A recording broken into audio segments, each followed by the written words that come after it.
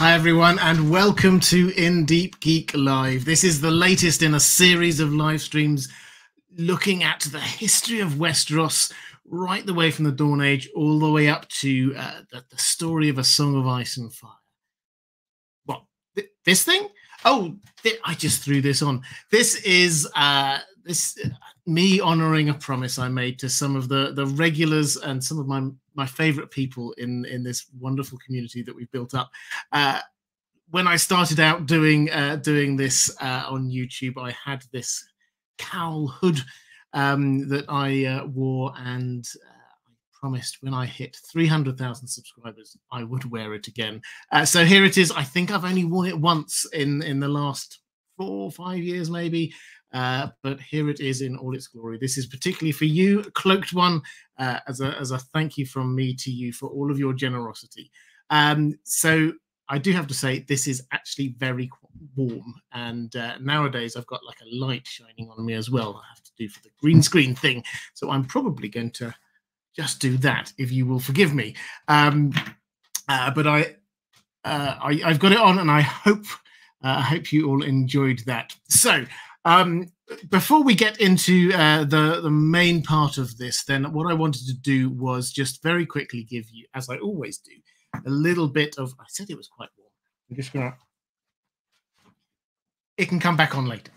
Um, the this week we've had some big news about Game of Thrones about um, the spin-offs. Uh, if you missed it, we had the trailer for, or the teaser trailer for House of the Dragon, the first teaser trailer that we've had, and um, it was really good. I have to say, I, I, I analyzed it. If you were here a couple of days ago, I did a live stream, impromptu live stream. I just decided, you know what, I'll just, I, I want to talk about this, so I went live, uh, talked for about an hour, working my way through the trailer. If you're interested, check back on the channel; it's there. Um, but what I wanted to say now is I really liked it. I thought it was really good. Um, I know that there's a lot of people who've got a uh, reservations about spin-offs following season eight, but I have to say it looked good. It's only a trailer. We haven't seen the whole thing yet, but so far so promising. So I'm quite excited. If you want to watch the trailer itself, you check out over on. I've got a link on my Twitter if you want to go and check that out. Um, uh, did have a super chat before we went live from uh, Maura Lee. Hi there, Maura. I see you're in the chat uh, today saying, Congratulations, Robert, on 300,000 subscribers. That is fabulous. Thank you. Uh, looking forward to today's live stream and hopefully being able to participate in the chat. Thank you for all the hard work, creativity, and love you put into everything you do. You are the best. And also, you did a super sticker as well. Uh, thank you very much. I hugely appreciate that. And you did another. Oh, thank, very generous, Maura. Thank you so much. Uh, another super chat. Just say super chat saying for the uh, for the hood. Uh, yeah, I appreciate. I I have in the back of my mind, and this is one of the things that I love about this community. Is there's always cleverer people than me. I have in the back of my mind that there's there's a fancy French word for the hood, uh, which covers the head and the shoulders, uh, but I can't I can't for the life of if there's anyone who can remember what the proper word for that is, maybe it is just a hood. I don't know. Um, I would hugely appreciate that. There are also a couple of um, uh, things from last week. Uh, what I try to do is always on, answer as honestly and as full as I can everything that I uh, I get asked, uh, but occasionally I have mind blanks. There's things that I don't know off the top of my head. Uh, when that happens, I try and pick them up again next week. So uh, I had a couple. Uh, one was from. Oh, and I didn't actually note down. Oh, this was for EP uh, saying, uh, "Do you think the Rhoynar got some inspiration from Carthage?" Um, and off the top of my head, I couldn't come up with a good answer for that. Um, but I thought about it, had a quick uh, look around.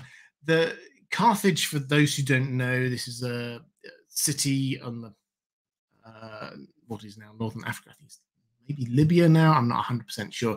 But this was a major city um, back in the sort of uh, pre Roman era. Um, and for quite a long period uh, going into that as well. they were a trading uh, city, a trading port, um, and there was uh, lots of Phoenician Empire uh, came up through there as well. Um, they controlled a huge amount of the trade throughout the Mediterranean, and I think for me, yes, I can see where that's coming from. I think that the Rhoynar, though, with if we're thinking back to when we're thinking about the Rhoynar, they were more of a river people than an open seas people. Yes, we have Nymeria who set out, uh, who set sail out across the open seas, but generally speaking, they were a river people. And when they came to Dorne, again, they found the river. So it's more of a river culture that we're looking for. And I think perhaps for that, you could look at the Sumer culture, Tigris and Euphrates, just as humanity was was emerging, civilizing, and settling down. Um, but also another early culture, the culture around the Ganges. I, in my younger days, I travelled uh, a, a, bit around India, and I think it's quite hard for a lot of Western minds to conceptualize the importance of the Ganges. Uh, it's not just a holy river; it's it's it's has a life.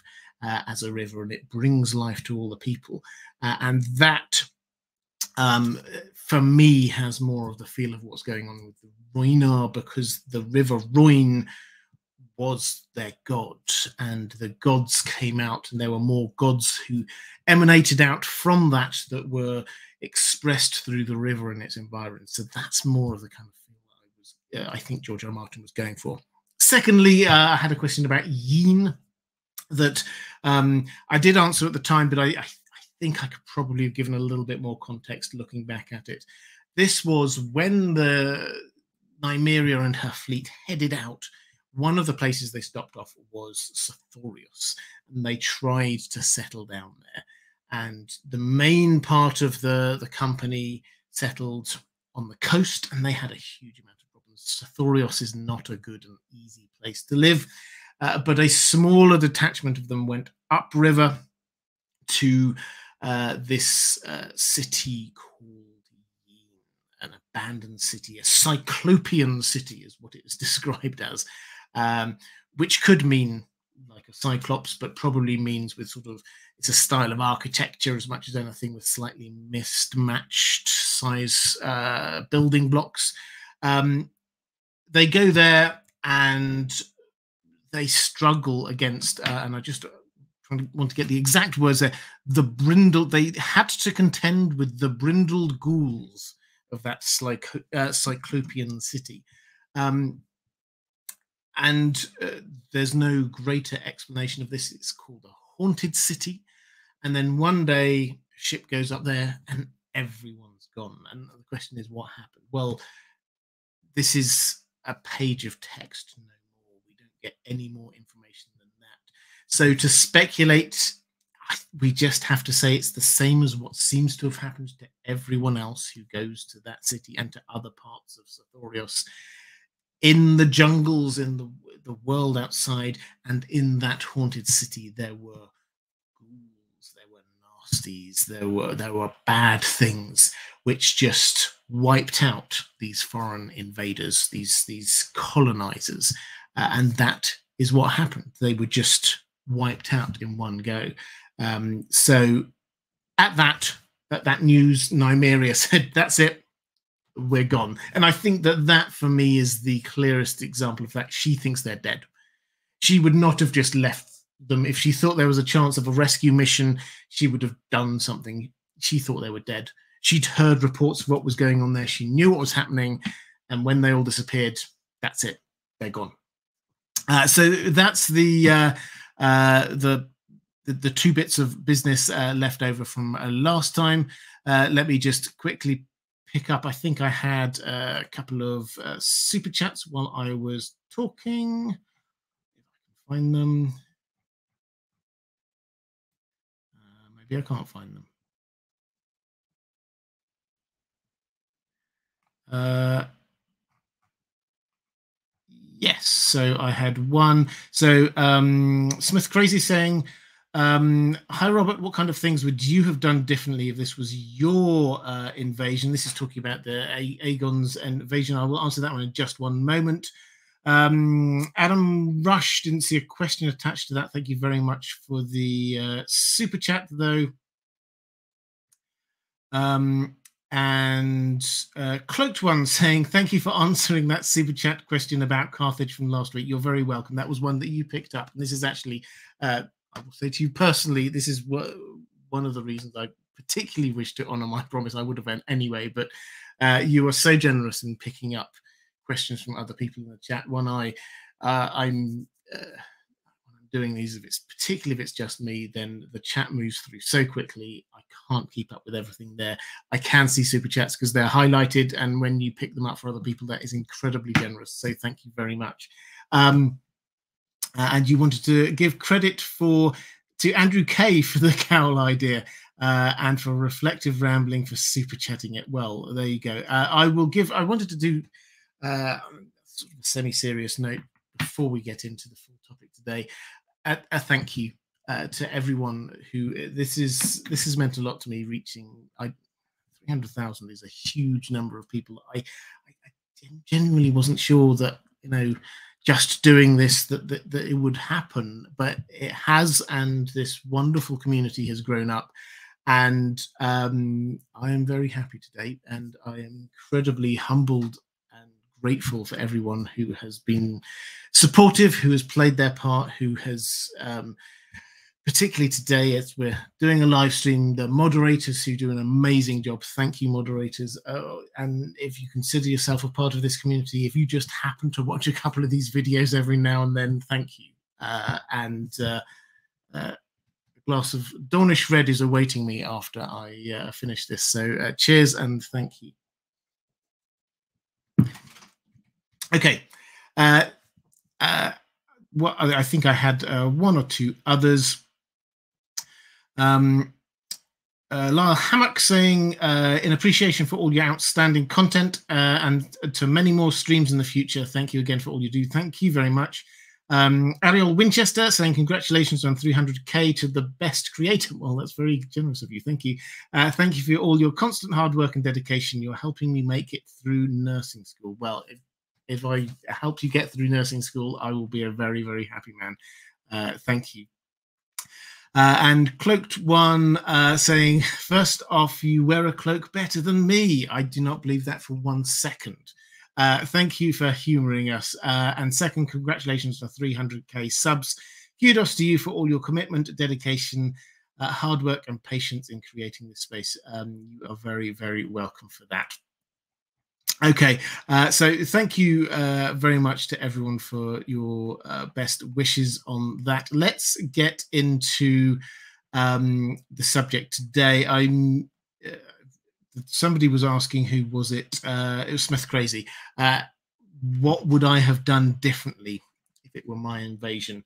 Um, well, thankfully, it wasn't my invasion. I'm not really an, invading sort of guy, to be honest. But um, I, I, think what I'll do in a second is just give an overview of the invasion as a whole and then get into certain specifics as we get through there. As always, I'm going to frame this around questions from my patrons and pick up as much as I can from the chat. Um, but the in terms of what I would do different, I will say up front, not much. Uh, they they actually played this very well. The only thing that didn't work be honest, was Dorne, and um, that maybe they could have realised earlier on that this wasn't going to work with Dorne and come to an accommodation uh, a lot earlier. That would have saved a lot of lives and a lot of heartache. And I think that is probably the only thing that I would say they got wrong. Yes, there were some small mistakes along the way, but broadly speaking, if you were to map out what they could do from a very, very small start to take over the entire continent, it was it was a pretty astonishing uh, display from beginning to end. So uh, not much would be the change. I think I would just come to an accommodation with Dorne a little bit earlier. Uh, Jack Myatt, thank you very much. Super chat saying, "Hey Roberts, uh, something to say." Thanks. Uh, what parallels uh, will or do Dany's and Fagon's invasions have to Aegon's? Uh, and who knows about Fagon's true identity and who will reveal it? Um, well, the the main echoes are with Dany. It has to be said because uh, Dany has got the three dragons. Aegon and his sisters had three dragons. Her dragon, main dragon herself that she rides is Drogon. Drogon, everything is an echo of Balerion the Black Dread. The colouring, uh, the the language usage. George R. R. Martin is echoing the one with with the other. So, uh, and and they are going to be invading, of course, from the east.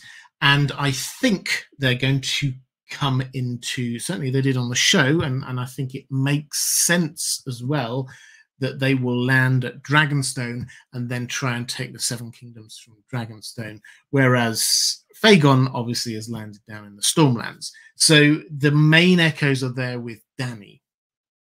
Um, Fagon is try trying deliberately to echo all of the Targaryen reign with kind of symbols of of Targaryenness, Targaryenishness, uh, if that makes sense. So we will see with the creation of his Kingsguard, we will see that he will, I suspect, get the sword Blackfire, which was Aegon the Conqueror's sword.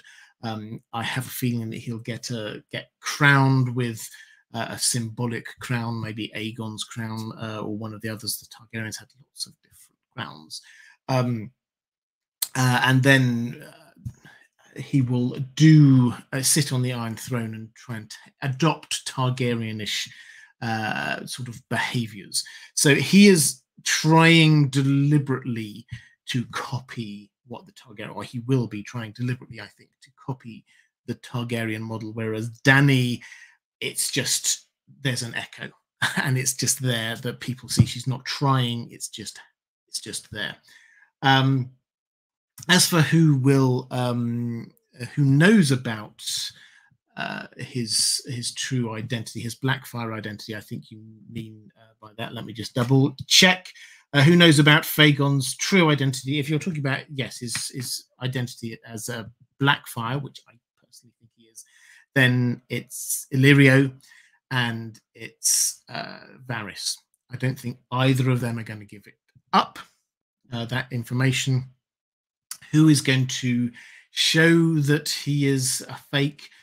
Well, it's possible that there will never be a full official reveal of this. If those people decide they do not wish to share that information, then that information will not be shared. It's very possible that Fagon himself does not even know that he's not a full Targaryen. The person, however, who is being set up to reveal this is Dany. Uh, because in the House of the Undying, she has these. Um, I forget the exact wording of the phrase, but it's the um, re revealer of lies or something along those lines. And there's a number of these things that she's going to be. The implication being she's going to show to be lies. One of which is the the false dragon, the mummer's dragon, which is Fagon. So the implication is that she will do that. How will she do that? Probably with her dragons. It, it, he is going to be a few generations descended away from uh, the, the Targaryen line. So much like um, uh, Quentyn Martell, who also had some Targaryen blood to him, uh, but was quite a few generations removed from it. He will be not immediately friends with dragons. Let's put it that way. So I think that's probably the the, the best or most likely way. Um, question from um, Roman Lukovets saying, uh, thank you very much, saying, uh, Song of Ice and Fire can be tough for less perceptive readers like me. So thank you. You're well. You're, you're welcome. I'm sure you're not less perceptive. Uh, thank you for keeping your videos clear and easy to understand. Also, watching you remove your glasses in HD is one of the greatest pleasures known to man. Keep it up. Um, so uh, I, I, I, honestly, I don't know where I'm. I'm in slightly reflective mood today. I, am sure you can probably uh, gather. I, I, don't know. I, I love the fact that people count how many times I take off my glasses in a live stream. Um, I, I, have no idea where that's come from. It's a complete mystery to me. Uh, but um, I'm I'm glad you enjoy uh, watching me put my glasses on and off again. Um, reflective rambling. Thank you, reflective rambling. You're picking up again as you often do. Questions from other people. Uh, this time from Mattia Dominique. Um, these streams mean so much. Never thought I'd be a part of this type of community. Uh, you're one of the kindest and most educative YouTubers. Uh, thank you. Well, you're you're very welcome. Um, uh, and you're also starting to make me a little bit embarrassed with all of this praise. So thank you. Um, that's very kind. Let me, um, as I said I would, I give an overview of the Targaryen invasion, and then we'll get into a few questions uh, about the specifics of it. So this happens a hundred years or so after the uh, doom of Valyria. The Targaryen family have had a dream. Daenerys, the dreamer, um, had a, a dream, a vision about the doom of Valyria, and moved the entire family over to Dragonstone. They were well away from the doom when it happened. As a result, the Targaryens are the only Valyrian dragon riders left. There are other Valyrian families. House Velaryon's the obvious example, but there are a couple of others. Um, and but for a hundred years, they broadly stay there. They came across with five dragons. Four of them died. Two more are born. Uh, and by the time of Aegon's invasion, there are the three siblings and three dragons, and they set off. the the um, The invasion starts very small. It's not a massive army. It's it's them plus their local allies, being House Velaryon, House Celtigar, a few people up uh, at sort of off Crackclaw Point, um, they land in what are sort of disputed lands, what is now King's Landing. At the time, it was just three hills and slightly disputed lands uh, between two kingdoms the kingdoms of the, the rivers and the isles, uh, and the, uh, the, the Storm King, Argilac, Argilac the Arrogant, as he became known in the Stormlands. They land, they win a few initial battles against the small local lords there, and then they split off in three different ways. Uh, Rhaenys heads south with uh, Orys Baratheon. Uh, she uh, wins a battle there. Orys Baratheon wins the battle there with Storm's End. They've gained that area. Uh, Visenya heads north um, and west to uh, the Vale with the Velaryon Navy. They win a load of battles around the outside of there. They basically win the Sea War. And then Aegon on Balerion heads inland. He goes to Harrenhal. We know what happens at Harrenhal. Um, basically, the River Lords turn to support him. Uh, Harren the Black resolute says, I'm sitting in the biggest and best castle ever. You're not going to catch me. And then Balerion the Black Dread melts the castle, killing off uh, House Hoare. Uh, and after that, they come back, and the rest of Westeros just kind of falls.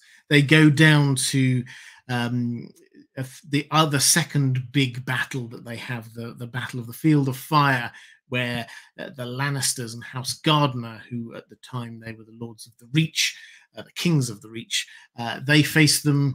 All three dragons are there, and they burn them. Uh, and the Lannisters, as a house, survive. The Gardeners, of the house do not. The Lannisters bend the knee, and uh, when Aegon heads on up to Highgarden. That's where the Tyrells are. They're the stewards, and they also bend the knee. They they win the southwestern part of Westeros. The North then are heading down south, uh, no, hearing about this threat, but then they see what happens to had happened to Harrenhal and King Torrhen. Little bit of negotiation, but then decides he is the uh, the king who knelt. He also bends the knee is allowed to stay uh, Lord Paramount of the North. Visenya heads up to the Eyrie. She does some fantastic little bit of diplomacy, just landing her dragon down uh, the top of the Eyrie, which they had thought, um, why not? House Arryn thought this was impenetrable. Nobody can possibly attack the Eyrie on top of this mountain. A dragon just lands down there. Uh, takes she takes um, Ronnel Arryn, who is the uh, the child heir, effectively flies him round a few times and lands him down. It's a show of power. It's also a show of um, uh, we don't have to do this by war if you don't want to. And basically, House Aaron also submits. So at this point, you have got most of what is known, what is now known as the Seven Kingdoms, all bending the knee. Two are still not a part of the Seven Kingdoms. The Iron Islands, the Iron Islands did fall in a, a, a little bit later, I think in year two AC, the second year after uh, the conquest. That uh, they they then also bend the knee. With Dorne, however, it's a very different story.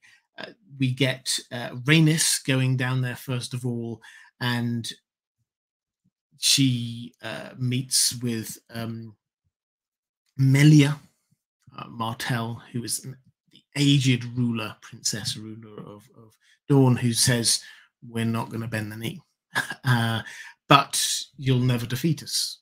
And sure enough, we get this ongoing battle between the Targaryens and Dorne, where the Targaryens come in, they burn a whole load of stuff, the Dornish just disappear underground. They know the area better than anyone else. The Targaryens and their new allies in the Seven Kingdoms come in, try to occupy. The moment the dragons go away, up pop the Dornish and kill all of the invaders, and the whole thing starts again. It gets incredibly bloody and horrific. At one point, Rhaenys herself, uh, her dragon gets shot down over the Hellholt. Um, the, and she is presumed dead. Uh, the other two Targaryens, mad with rage, they go and burn everything around, but still, you know, the, the Dornish just disappear away into caves or underground or wherever it is that they go. Uh, and then when the dragons disappear, back up they pop. It's only when Princess Meria dies that Nymor, her son, takes over. A peace accord is reached. So that's the history of the conquest. The conquest is never fully complete, as in Dorne was never actually fully conquered, uh, but the, the seven kingdoms, as it was known as the seven kingdoms, it was always known as seven kingdoms, regardless of how many kingdoms were actually a part of it. Um, that was uh, completed when Aegon was crowned king year zero, the calendar was uh, reset. Year zero, probably a couple of years after they'd first arrived in Westeros, he gets himself crowned in Old Town. Old Town at the time, King's Landing's just a ring fort then. Um, King uh, Old Town at the time, the big city, the only real big city, the ancient capital greatest place, most populous place in the entire continent, place where the faith of most of the Seven Kingdoms, the faith of the Seven, is based at the Starry Sept. Aegon get him, gets himself uh, crowned there. That's the point at which the initial invasion is ended, the, the, calendar is reset, and everything goes forward from there. So that's your uh, broad overview. Um, let's have a quick check. I think I had a couple of quick questions in the chat. Um, had one from uh, Michael James, just uh, give me a thumbs up. Thank you very much. Uh, Jake Sterling saying, Do you read anything into the genetic dominance of the first men, stark and strong, when it comes to breeding with Valyrians? Um, so I mean, I'm not. I, I don't know the when you say do I read anything into it. One thing I do very strongly believe is that the um, the line, the Valyrian line or the Targaryen line towards the second half of the Targaryen rule was manipulated by Bloodraven. I've done a video on that if you're interested in that. And the, in that, I think that it's very clear that he wanted to have first men blood as part of this uh, through House Blackwood, and then ultimately also House Stark. How strong uh, could have been uh, the the ruling line, at least potentially. We'll talk about this more in the uh, the Dance of the Dragon stream in a couple of weeks' time. Uh, but uh, allegedly, but almost certainly, uh, the sons of uh, Rhaenyra uh, were strong. The first children of Rhaenyra were not the sons of um, the Laenor Velaryon, as was assumed, her husband, but actually uh, of Harwin Strong, member of the Kingsguard. Um, they looked very much like him, at least. So there are possibilities of entering the, the Targaryen bloodline early on, uh, but it, it's only later on, I think, when the bloodline gets manipulated. And when I say the bloodline gets manipulated, what I mean is that Bloodraven kills people that he doesn't want to be inheriting, uh, to put it bluntly. Um, uh, and that does happen later. Cloaked One, uh, this is a question for uh, Fred. Uh, uh, thank you, Cloaked One. Uh, saying, why did the Targaryens, after the Doom, decide to conquer Westeros and not go for the richest regions and cities in Essos? Um, well, this is a good question, and I think I've got. Um, I will sort of tie this in. Um, uh, with Maura Lee, you asked what event or events happened that encouraged Aegon and his sister wives to want to uh, conquer Westeros in the first place. So the the situation uh, is that the Targaryens they've gone through, I think, four generations. So Aegon is the fourth generation after the Doom.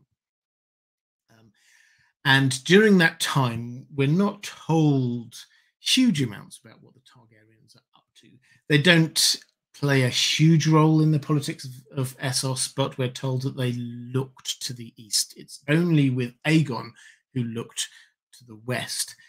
I personally think this is just a cultural thing.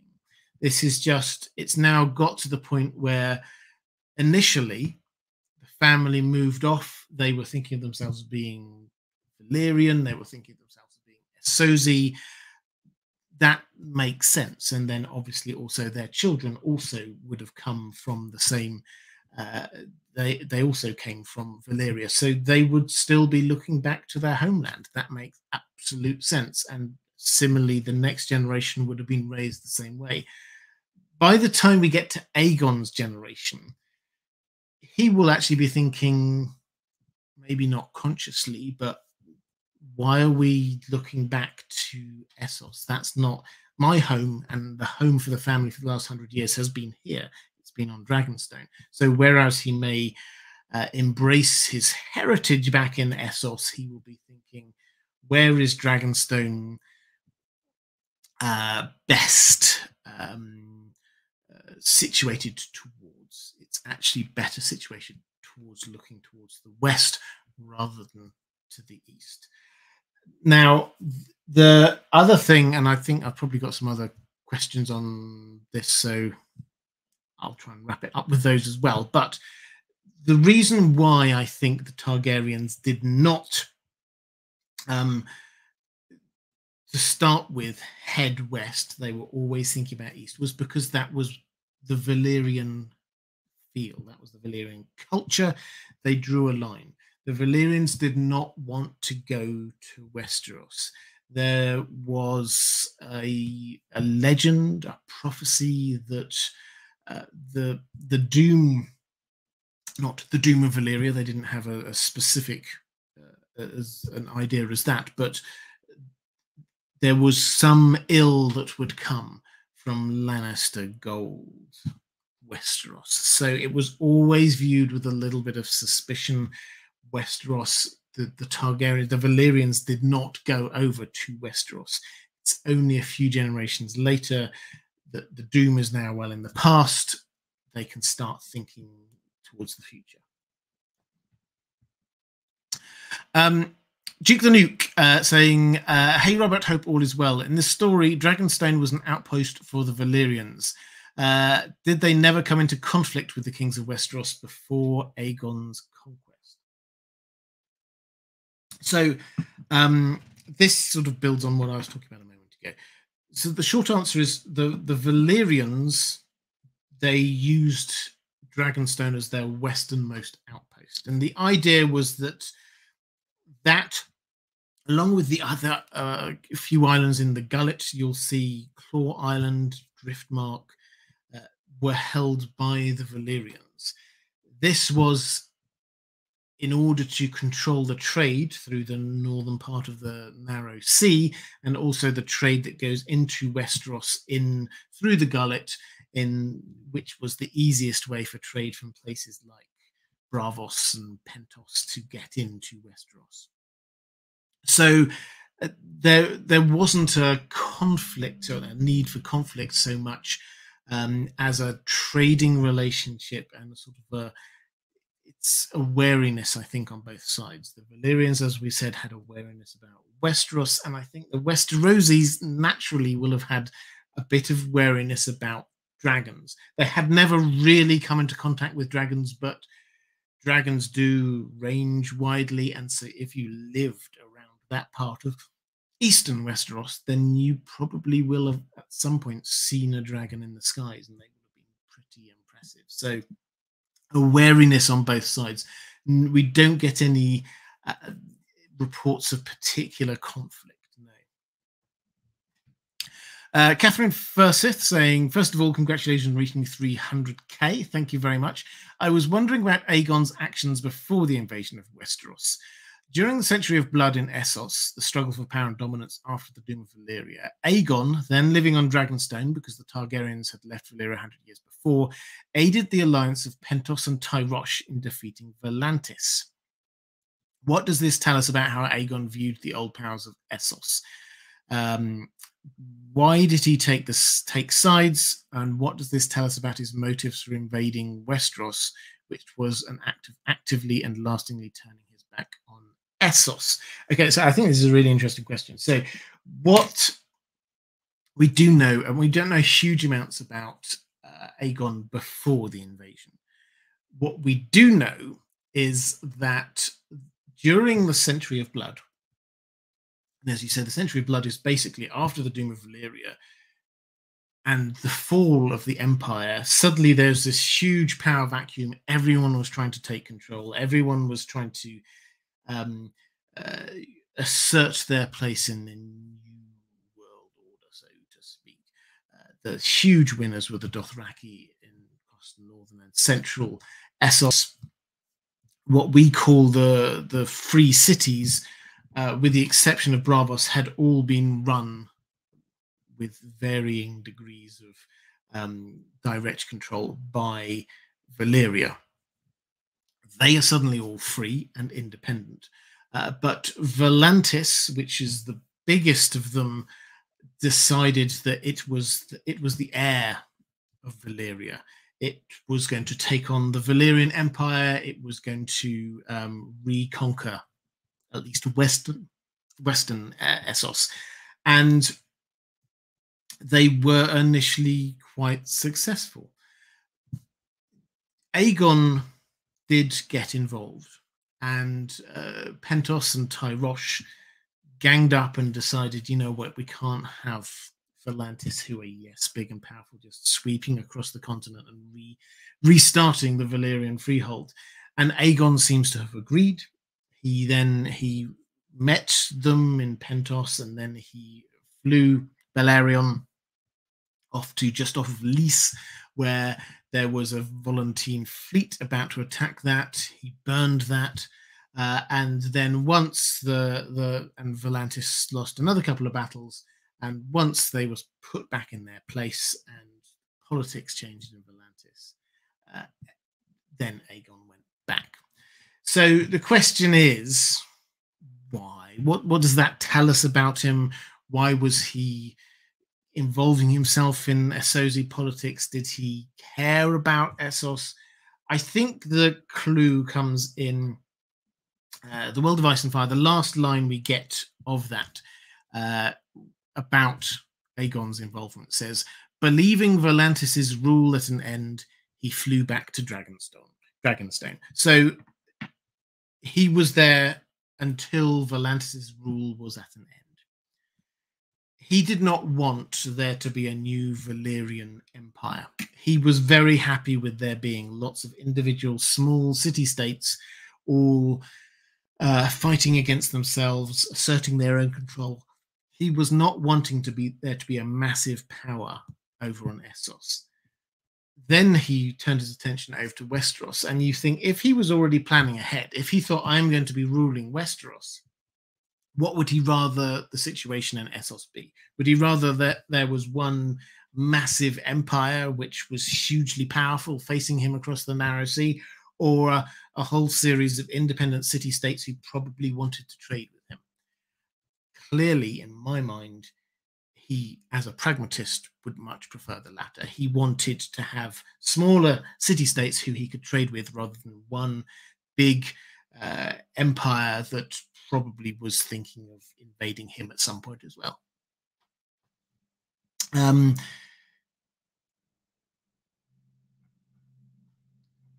I think I had another question. Yes, so uh, Vilma, um, not Kan Kanta. I'm mispronouncing your surname, so I'm, I'm, just going to sort of move on and hope that you uh, you accept my poor and weak attempt. Aegon must have had some soldiers and servants with Valyrian heritage during his conquest. Any chance that the people he brought with him might have carried the Dragon Rider genes? Well, it's possible. So uh, he, we're told that when they moved over to Dragonstone from Valyria, they brought with them all of their family, all of their servants, uh, all of um, slaves as well. We don't really know what happened with their slaves. They seem to have given up on the practice of slavery later on but um, they all came across. Will there be any there with Valyrian heritage? Quite possibly. What we find out later in the Dance of the Dragons is that uh, because the uh, the Valyrians were quite free in sharing their love with the small folk around them, shall we say, uh, there were a number of people in on Dragonstone and in the environs who had some Valyrian heritage. Uh, given that that seems to be their propensity, it makes absolute sense that some of the people they brought with them also shared that heritage.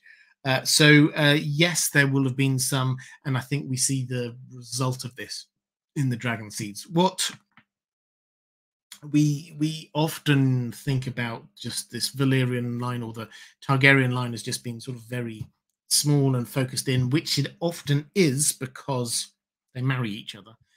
But there are lots of illegitimate children out there, which means that there are lots of people who had uh, bits of Valyrian heritage to them.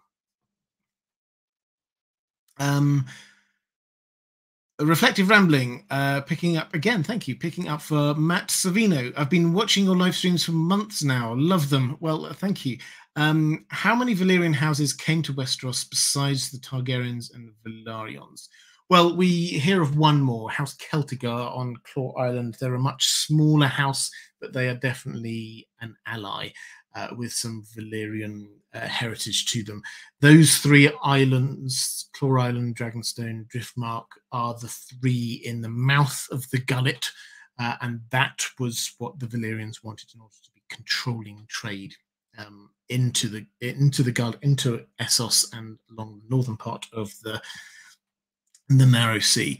Um, Claw Island um, and House Celtigar, incidentally, they we do get a little bit about them in the main story because uh, they have this relationship with Cracklaw Point, which is that sort of uh, pointy bit.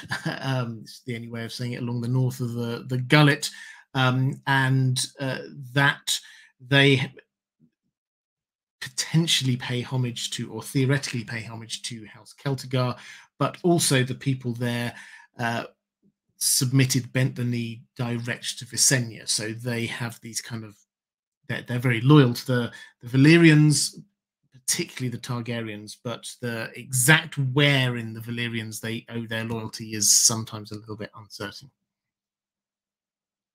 Uh, Donald People saying, I was this close to not starting from the beginning since I got here late. Thank the gods I did.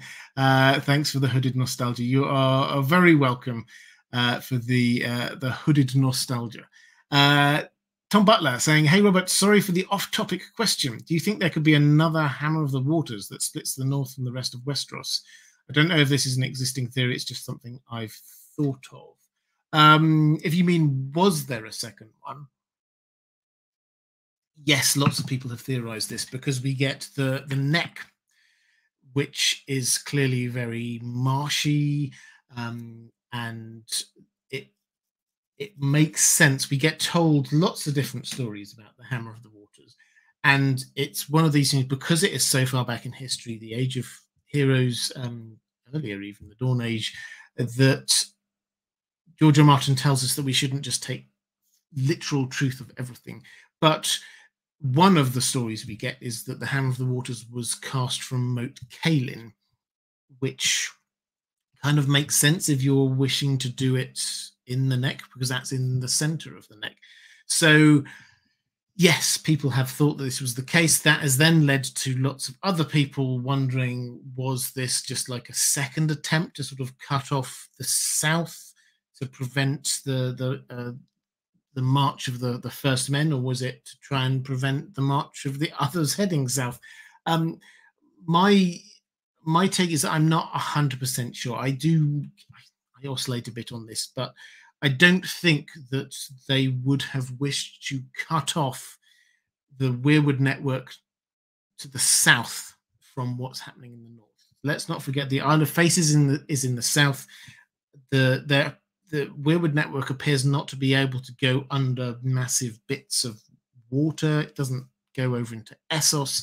I don't think they would have wanted to cut that off. So my my instinct is probably no. There was just the one Hammer of the Waters, which was the whatever happened to uh, to create the stepstones to get rid of the land bridge uh, down uh, between uh, Dorne and the disputed lands, or what became known later as the as the uh, disputed lands. Um, uh, I think I had another question somewhere. Oh yeah, so EP uh, saying, and I hope you picked up EP. I, I answered your question from last week uh, at the top of the show. So if you if you missed that, do do scroll back and uh, catch that. Uh, what do you think was the full extent of Orys and Aegon's relationship? Friends, brothers, or more. Thanks for all you do. Okay, so Orys Baratheon is a fascinating uh, character because uh, the Baratheons didn't start. We think at the moment the Baratheons they're in Storm's End. That's not where they started. Orys Baratheon, it was rumored, was the half brother, the illegitimate half brother of Aegon the Conqueror. What we know is that they were firm friends from youth and uh, the uh, he's probably the only. We're, we're told that Aegon didn't have many friends. Uh, oh, everybody feels sorry for Aegon the Conqueror, but the, the the only person that he was really close, close to, his male friend, was Orys Baratheon, uh, who he named his first hand, my strong right hand, the hand of the king. Um, so the question is, what was the nature of the relationship there. Um, I think they were brothers. I think that that is very clear. I think they were definitely friends. Were they more? I think it's up to us to read into the, the text any anything you want to. There are echoes, I think, of the Ned Stark Robert Baratheon relationship here, um, but uh, and, and they're they're called more than brothers. Uh, that certainly seems to be the feel that we have between Aegon and uh, Orys. So I don't know. I, we we don't have any evidence. Uh, we don't. They were definitely very close. They were definitely, almost certainly, half brothers. Uh, anymore, I think it's just uh, the realms of speculation. Uh, question from.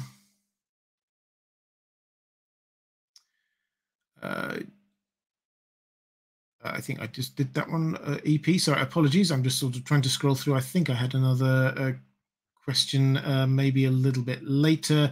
Uh, Cloaked One again, picking up one from Mike Hall. Thank you, Cloaked One. Thank you, Mike Hall. I always thought Aegon's procession through Westeros was a great way to maintain peace. It's a show of power, but also honours the visiting lords.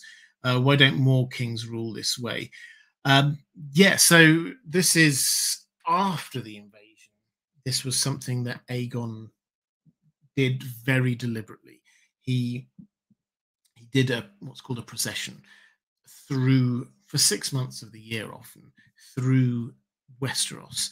Now, this isn't just something George R. R. Martin has made up. This was something that medieval kings did a lot.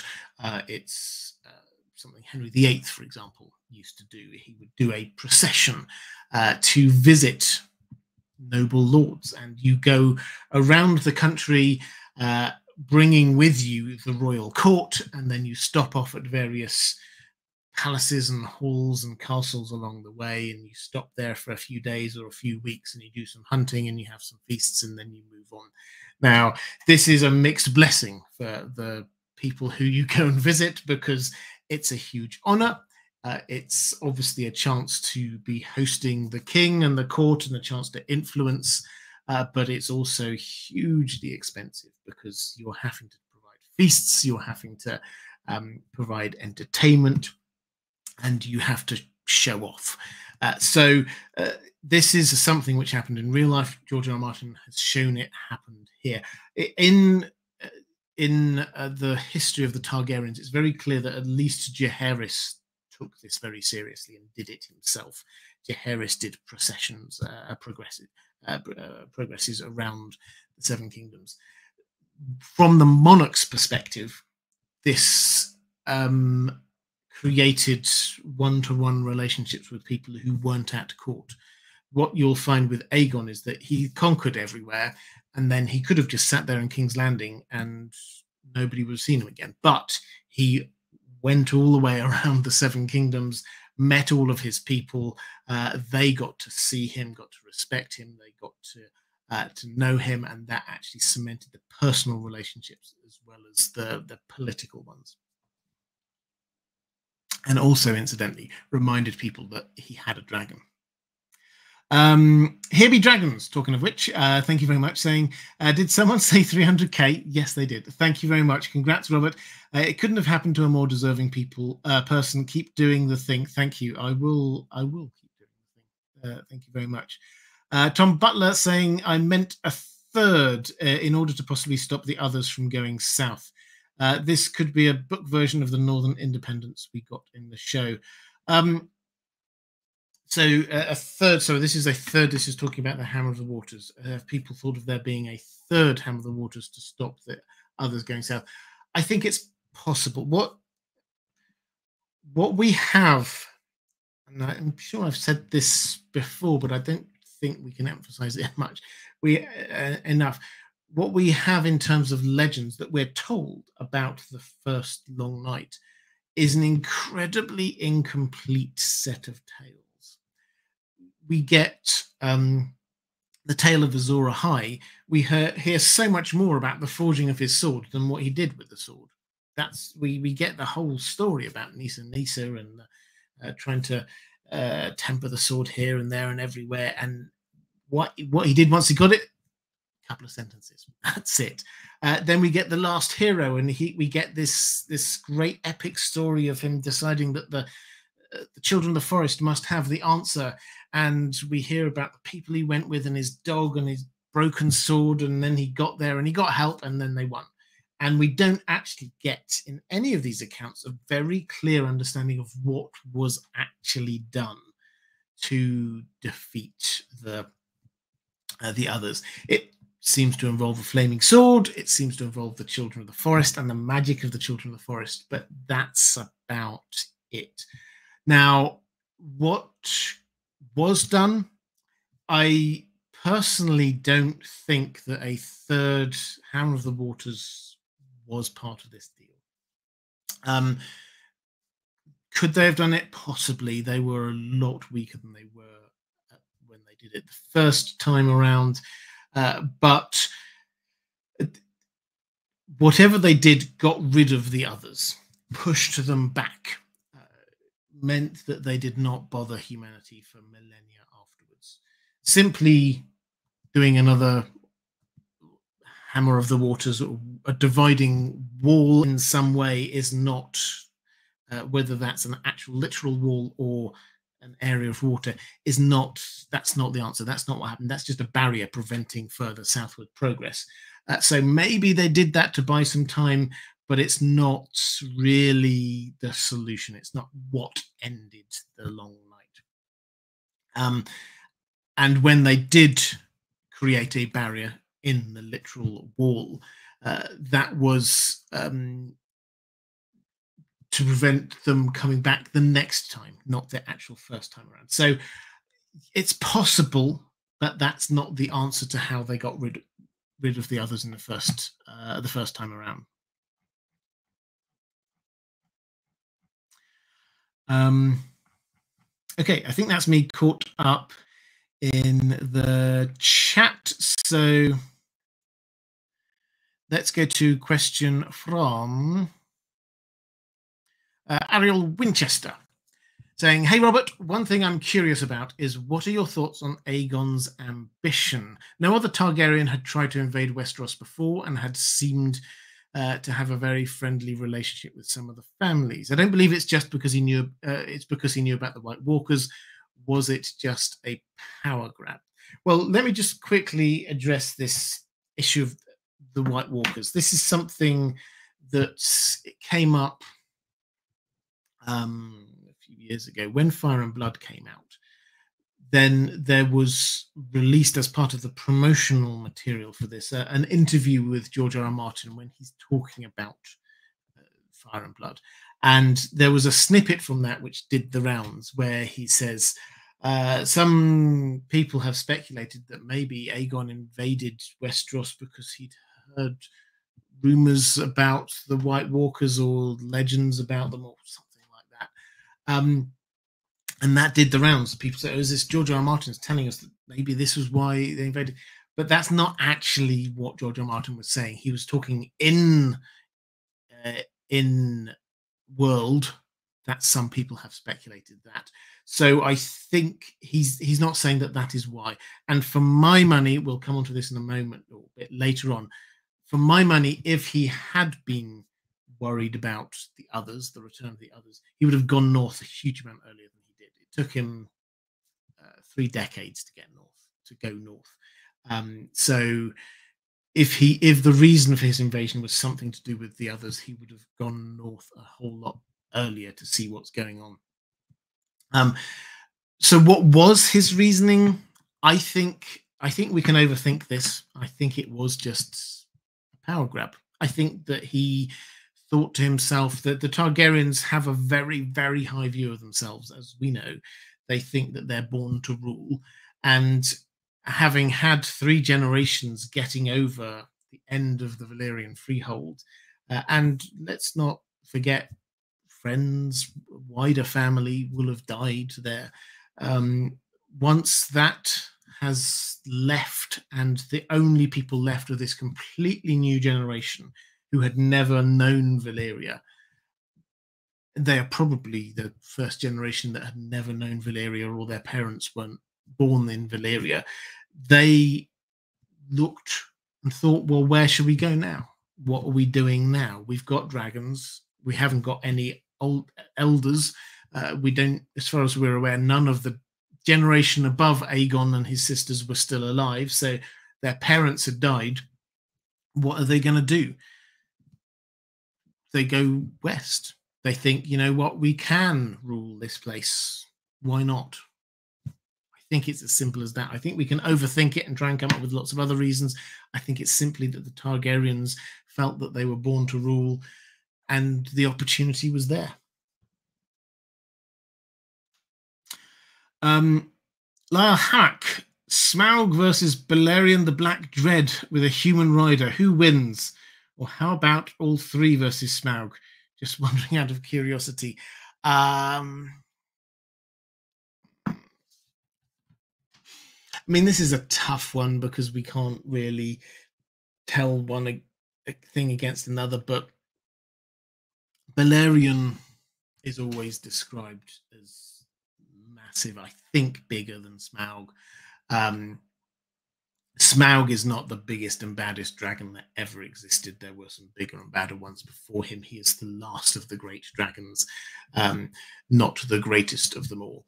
Uh, so uh, I, I don't know. I'm on a Game of Thrones live stream rather than a Lord of the Rings live stream. Maybe I'd come down the other side uh, there. I, I, will say uh, if the three of them were against uh, Smaug, then I think that they would probably win. Uh, James T. Kirk saying, "Still think you look like a Baratheon." Uh, i mean, I'll take it. I'll, I'll take it. Um, I, would certainly look more like a Baratheon than I do a Targaryen. It has to be said. Um, uh, Mr. E. Knight, isn't it said that uh, dragons may still remain near Asshai? Interesting that Targaryens didn't gravitate in that direction post Doom, uh, finding it more familiar. So, yes, it's it's rumored there are no we don't hear stories of dragons in the air uh, over there but we don't hear many stories about what's going on over there at all. So it's possible that there are still dragons beyond Asshai uh, in the shadowlands and beyond but we we simply do not know. Why did the Valyrian did the Targaryens not head back? Well they couldn't go back to Valyria. Maybe they did go and have a look see what was going on there. Um, but Dragonstone seems to have been the best place for the dragons. Dragons like heat, uh, and Valyria was the best place, but the other place with uh, seems to be sort of volcanic was Dragonstone. Uh, Dragonstone, as an island, it's got these vents of hot gaseous air shooting up all the time. This is a really hot, it's a very smelly island, but it's a really hot, a very sulfur, sulfurous, sulfurous smell. Uh, sulfurous uh, smell all the way across the island because it is basically volcanic. So this is a good place for the dragons, and it's a good place to stop if they weren't sure what they were doing or where they were going. If they didn't have somewhere else to go that was better, then they would probably stick to that. Uh, Donna Daly, um, was Aegon actually the most powerful sibling? Was he the decision maker? Well, interesting. So the the way the story is told in the world of Ice and Fire, yes. And the evidence that we have is that the uh, the two sisters at least we're happy for that to be the case, uh, perceived as the case. They crowned him. Visenya crowned him. That he had two crownings. The first one shortly after he landed, and the second one over in a couple of years later uh, that we were talking about in Oldtown. The first one, Visenya crowned him, and Rhaenys announced him as king they were very clear that he was the king, and that was the impression that they wanted everyone to have.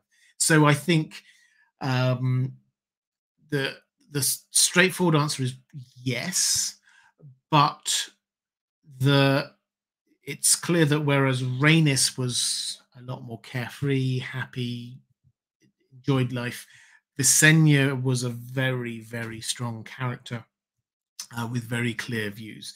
Now, when you're asking if he was the strongest, uh, the most powerful sibling, I mean, they respected him and took his lead. Is is the evidence that we have? Even later on, when it was just the two of them, when we get the letter from Prince Nymor to uh, to Aegon, which ended the the war with Dorne, uh, Visenya was all for carrying on the war, and Aegon uh, ended it and she respected that. She didn't agree, but she respected that. So um, that was what they agreed between them. But it is noticeable that the the three siblings all ruled. He he was the titular head, the titular uh, king, but he actually didn't spend huge amounts of time at King's Landing on the Iron Throne. He liked to spend time at Dragonstone and he also went on these progresses around the around Westeros. So most of the time he wasn't in King's Landing, and when he wasn't, one of the queens would sit there. Uh, so they actually all shared power. He was the the head, but they all shared power.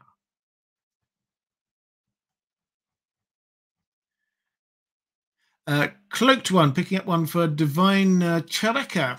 Who's your favorite Targaryen? Ooh, favorite Targaryen? Well, I mean, Bloodraven's the most fun, uh, in my view. Um, Egg is obviously great. Aegon the Fifth is a is a fantastic Targaryen. Um, I always quite like Queen Alysanne. She just seems generally to be a good character. She was good Queen Alysanne. She seems to actually care about people. Uh, so I like I like them. Uh, but uh, Baelor Breakspear as well, I think, came across particularly well. A great king who never was. So there are a few great Targaryens. Um, I don't think I have a, a, other than Bloodraven, who I think is a wonderful character, even if not somebody that I would um, uh, call great in every sense of the word. Um, he's probably my favorite. Uh, Eric, the timeline confuses me. Seems like a lot happened in the first year landing, set up camp, different lords calling all banners, and armies going around. Yes, so a lot did happen in the first year of the invasion. The invasion itself took about two years, we're told.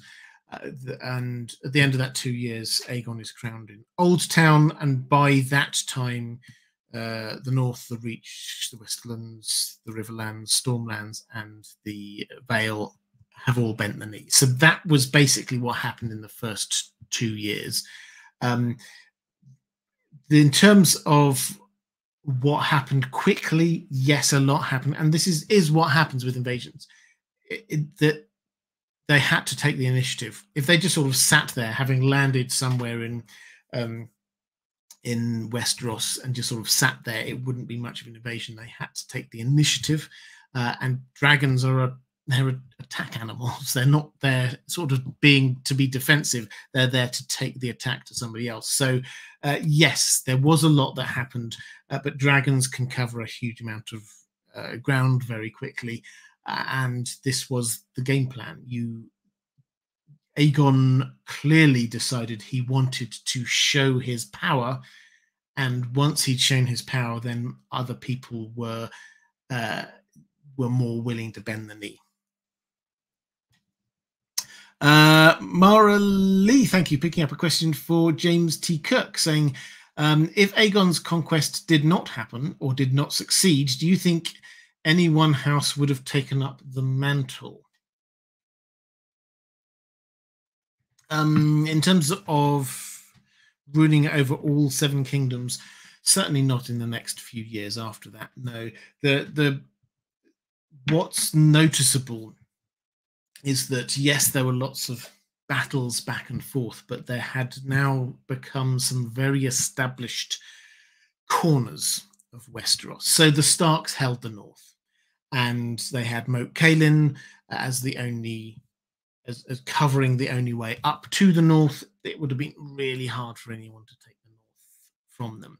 The Vale is cut off from the west of uh, Westeros by the mountains, and the Eyrie is pretty much uh, by by normal means, by a normal army, you you will not be able to take the Eyrie. Uh, similarly, the Westerlands, Casterly Rock, we've not really seen it in books or, or much on the TV show, to be honest, but it's a, it's a massive rock. It's very easily defended.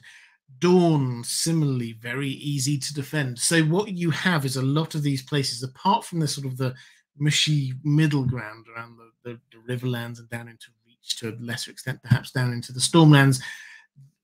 The apart from there, the corners of the uh, the Westeros were actually quite hard to invade. So it's not likely that there was anyone who was going to step forward and be able to take all of them.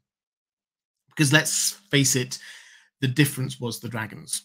In every combat that they had, the difference was the dragons. People bent the knee to the dragons, not just because there was somebody with a big army, because they started off with a very small army. Uh, Uh, Jack Myatt saying just a little extra as a show of true thanks. Uh, well, thank you.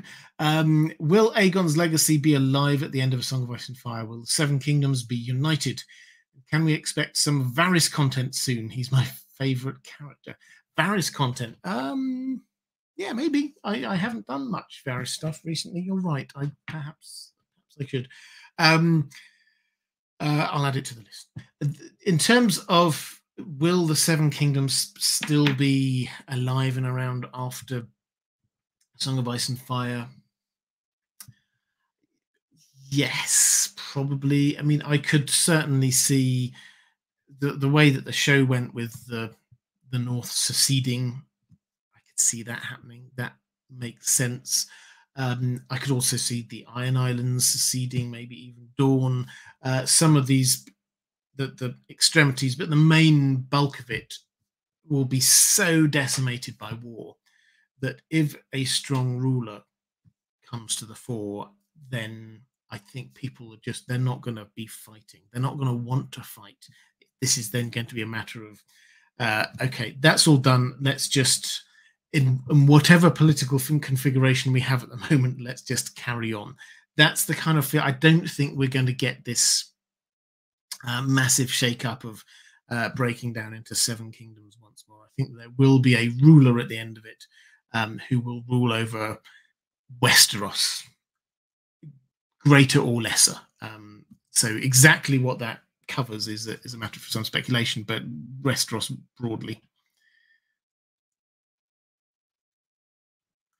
Um, think that's me caught up on the chat. So uh, let's go to question from Dan McKay. Uh, the physical characteristics of the Valyrians are notable with their silver hair and purple eyes. I think the other races present in Westeros at the time of the invasion, the descendants of the First Men, the Andals, the Rhoynar, also had their own typical characteristic looks. Can you remind me?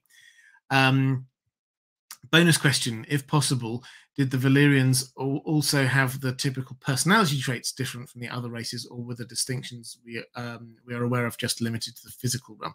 Okay, so in terms of physical distinctive characteristics for the different um, races, the First Men, uh, the the Rhoynar, the uh, the Andals, the the Rhoynar had uh, what what we might think of as Dornish looks. This is actually what Arya, when she encounters Ned Dayne, uh, and he doesn't look typically Dornish, she says, Hey, I thought all Dornish people had uh, dark hair and olive colored skin.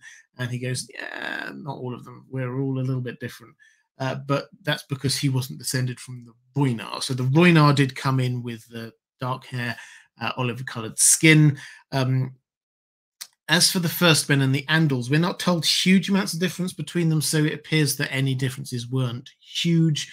But the Andals were mm, talked about as being fair haired.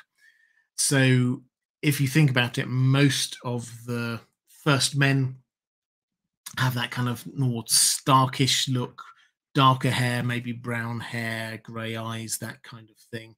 Um, whereas the families that have got more of an Andal heritage are much more likely to have uh, fair hair. So that's the only real sort of difference we got in terms of personalities. The I, am a subscriber to the theory that the Valyrian dragon riders have got a hint of dragon uh, DNA spliced into them uh, through some uh, ancient gene magic that the Valyrians did, blood magic. Um, now, this undeniably does affect their personality. It's not quite as clear cut as the you know, the gods flip a coin with half of them are good and half of them are crazy. That's not what George R. R. Martin would want us to be thinking, but it's very clear that there is this dragonish element to most of the Targaryens, which actually means that we can move beyond. I think we can move in a kind of interpretive sense beyond this idea of some of them being mad or crazy. but it's just slightly more dragonish. Dragons don't feel the need to apologize. They just go and take what they want. They kill, they burn. That's what they do. And that's perfectly natural for dragons without the burning. Um, and so if there's a bit of dragonish DNA in the Targaryens, if they do those things, that's actually natural for them. It's not mad. It might be from a human perspective, but that's what it is. They're just a little bit more dragonish. Um, the Beast, uh, or Caris the Beast, um, it rhymes. Can you give us some history of the relationship between Rhaenys and Visenya? The age difference has to play a large role in how they relate to each other. Yeah, so uh, and Visenya, the two queens, sisters, Visenya the older, Rhaenys the younger. They have very different characters. Visenya is serious, she's very warlike, um, she's very direct. And Rhaenys, a lot more relaxed, fun loving. She laughs. She rides her dragon for just for pure enjoyment. Um, and she likes music and the arts. Um, Aegon married Visenya.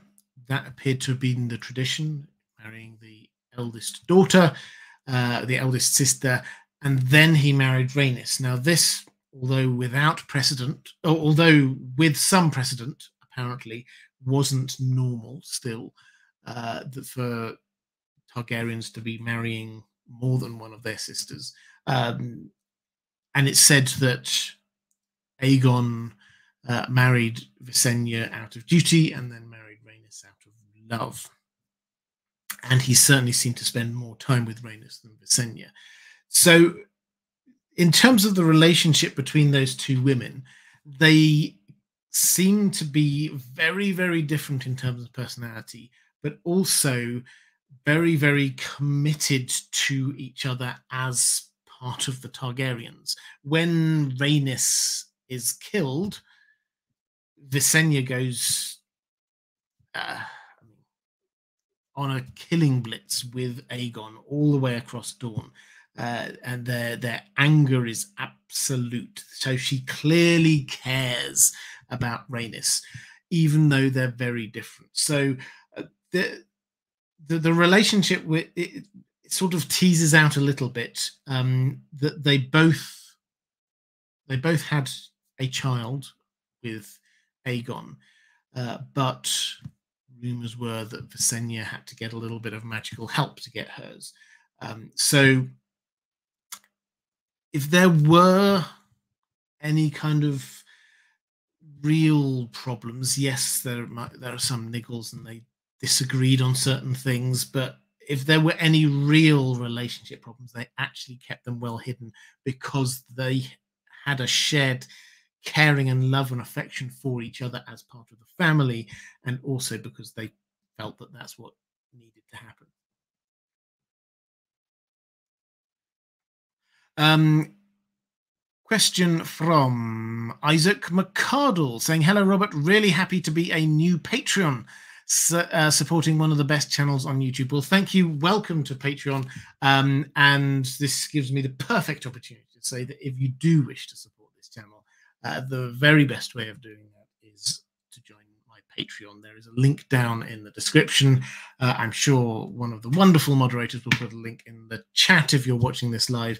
Um, for those who don't know Patreon, it's just a way of supporting creators. So you'll find me there, but many of your favorite creators, not just on YouTube, but uh, on many, many, many, many other ways uh, of creating podcast creators, writers, artists, musicians. You'll find lots of people on Patreon, and it's a way of supporting the people who you wish uh, to just give a helping hand to.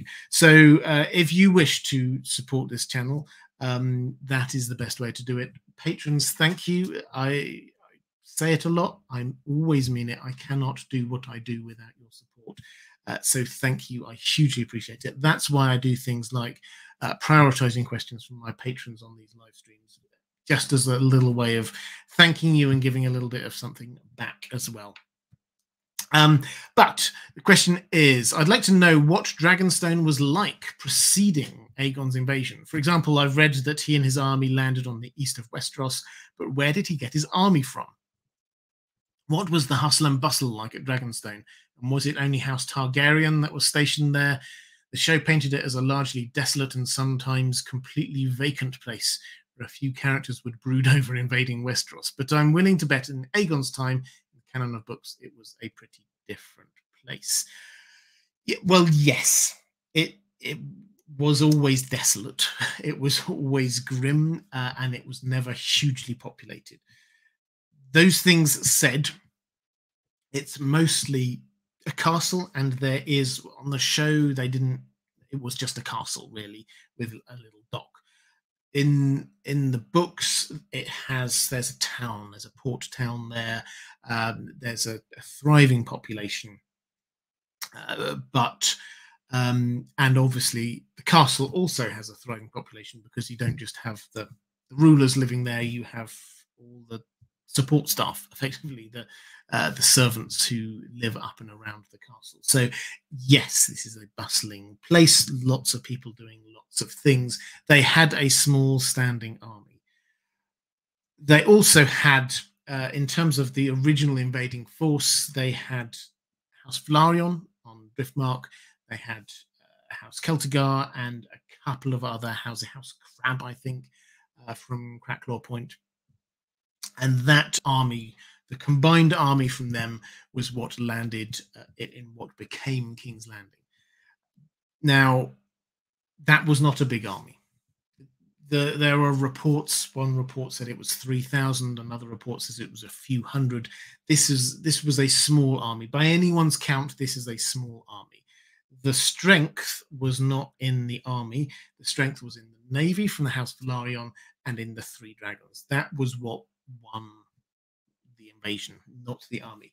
It grew, and Aegon's slice of genius in this was to uh, give everybody to be magnanimous. If you bend the knee, then I'm not going to hold it against you. Whatever you've done, you're on my side now. Uh, and whenever he took an area and somebody bent the knee, he said, Right, back up on your feet. You can be the lord of there. Uh, I need your army to help me finish the rest of this war. And so every time he won a battle, his army expanded.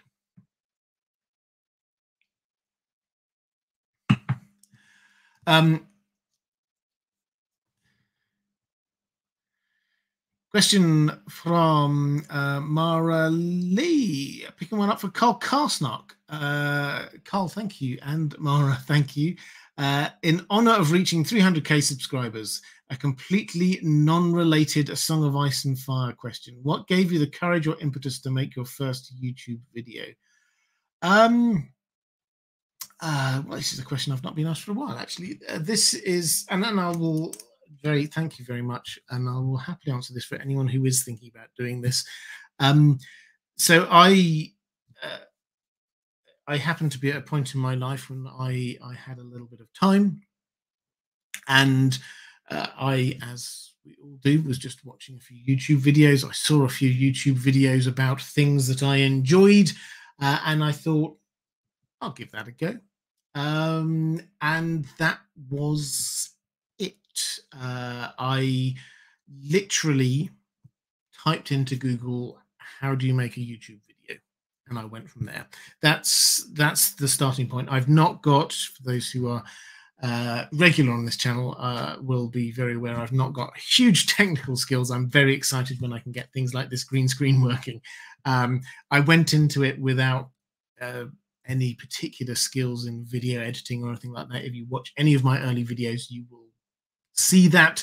Um, but I just trusted in the content what I was producing, uh, and went to went with the principle of every time you make a video, you make it slightly better.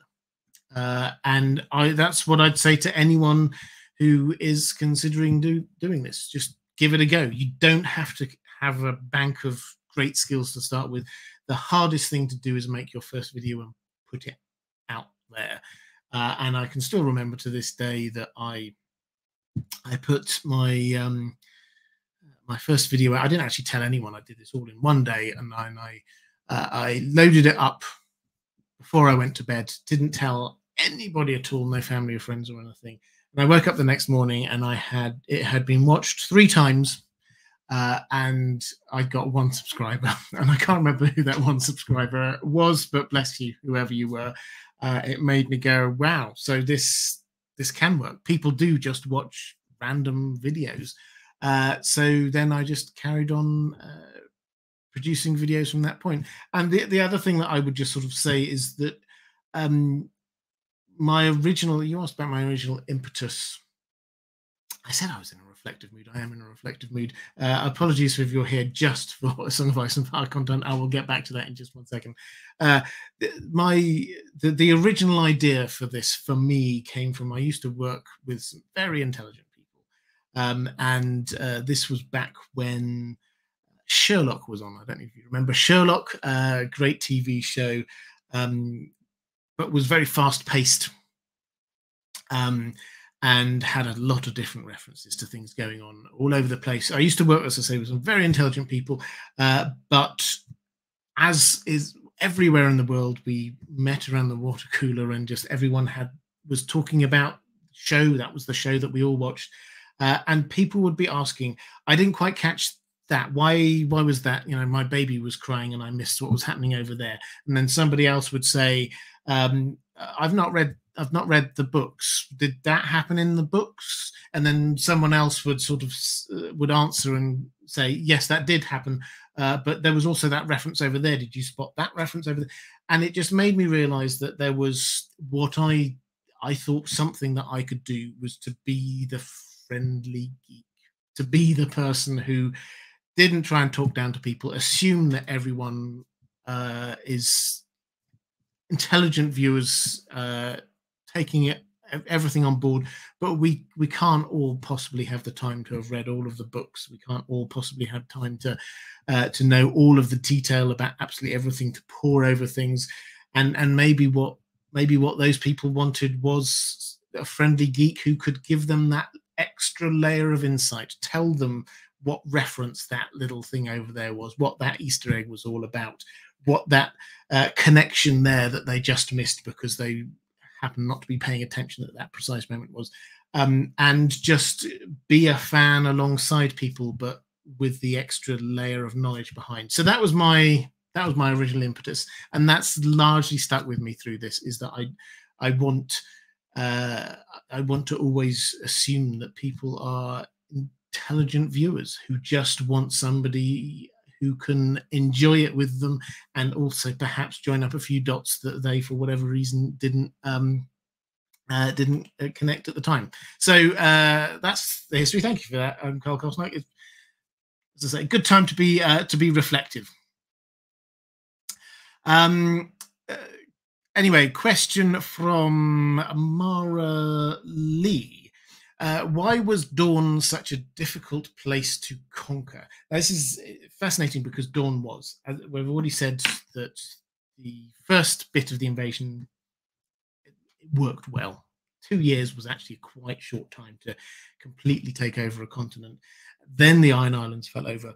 It took 150 years, a bit more, to for Dorne to finally join uh, the Seven Kingdoms, and even then, it only did it on its own terms there were 13 years of of trying to uh, attack Dorne, conquer Dorne, burn Dorne, uh, it, and, and none of it worked. Why? I think there are a few answers. One of them, I think, is the fact that the Dornish knew their terrain hugely well. One was that they were willing to, uh, with a leader that was not willing to back down.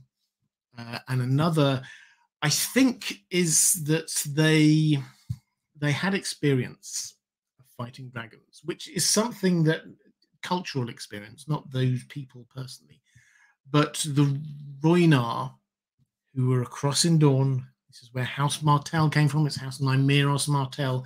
The, the the Rhoynish had hundreds of years of experience of fighting dragons, and they knew how to fight against dragons, and that was something that no Westerosi had experience of. Maybe some of the Andals had had a little bit of experience of millennia ago. But uh, generally speaking, no.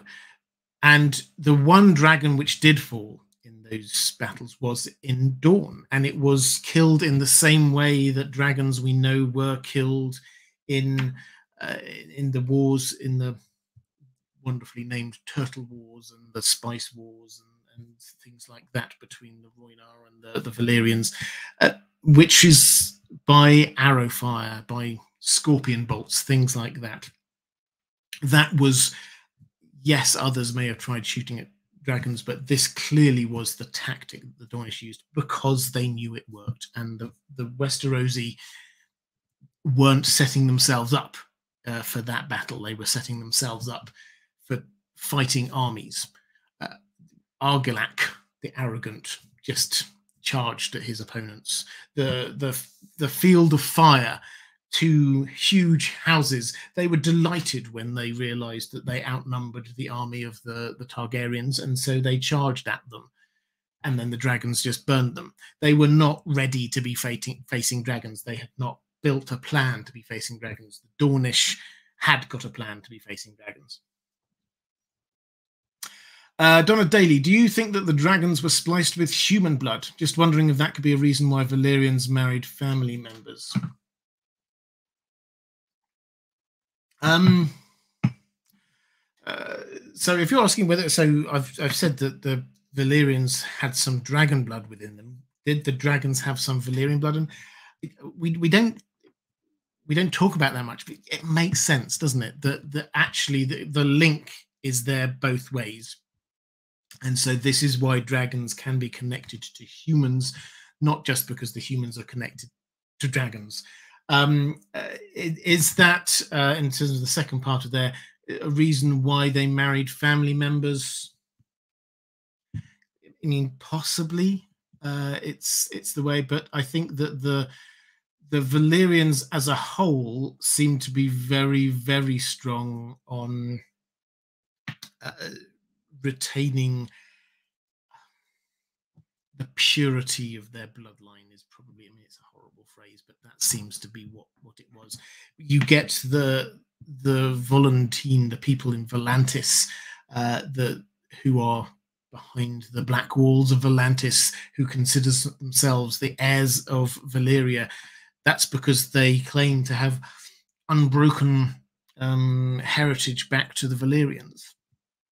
they're not going to sully their um, their bloodline by marrying outside of that.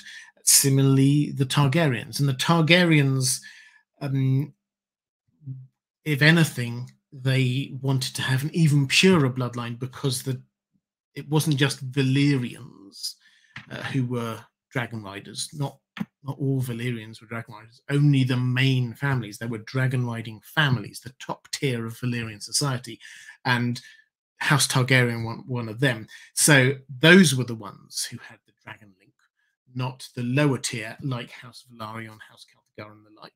They did not. They were Valyrian, but they did not have the dragon link. So House Targaryen were marry intermarrying with themselves because they wished to retain that draconic heritage.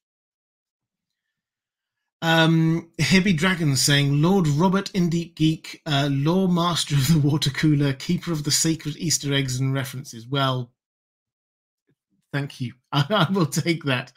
Um, uh, I think that's me caught up on the chat. Um, there are, uh, I should say there's a lot. I can see there's a lot of very nice things people are saying in the chat today. Thank you very much. I'm not I'm not picking up on everything. I will pick up on some more things uh, later on, but I do want to get through uh, the questions from my patrons. Uh, Dan McKay, could the invasion have failed? Is there any way, looking back with hindsight, or was it a foregone conclusion the moment Aegon decided to conquer?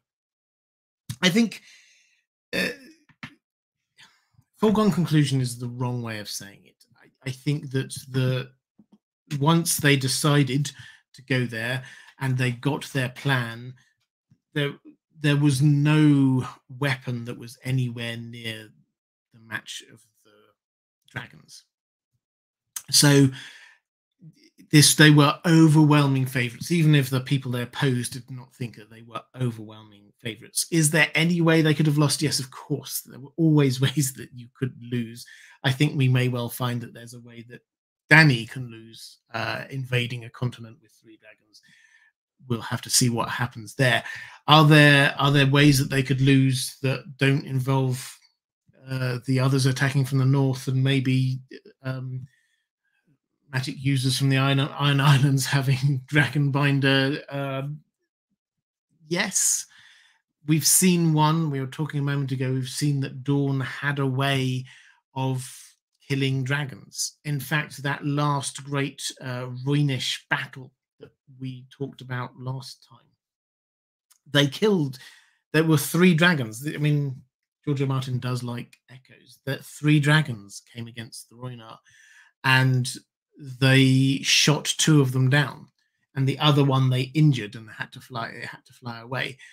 The if there were just three dragons up against uh, the Dornish there's a chance they could have got them. There is a chance. They got one. They might have got the other ones as well.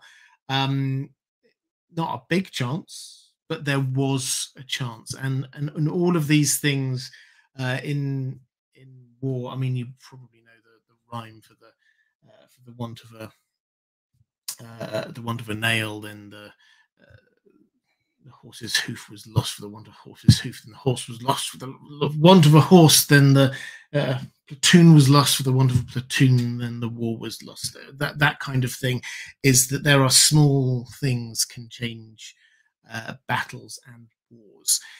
The other thing which could have changed it is not getting killing all three dragons, but what if different Targaryens had been killed?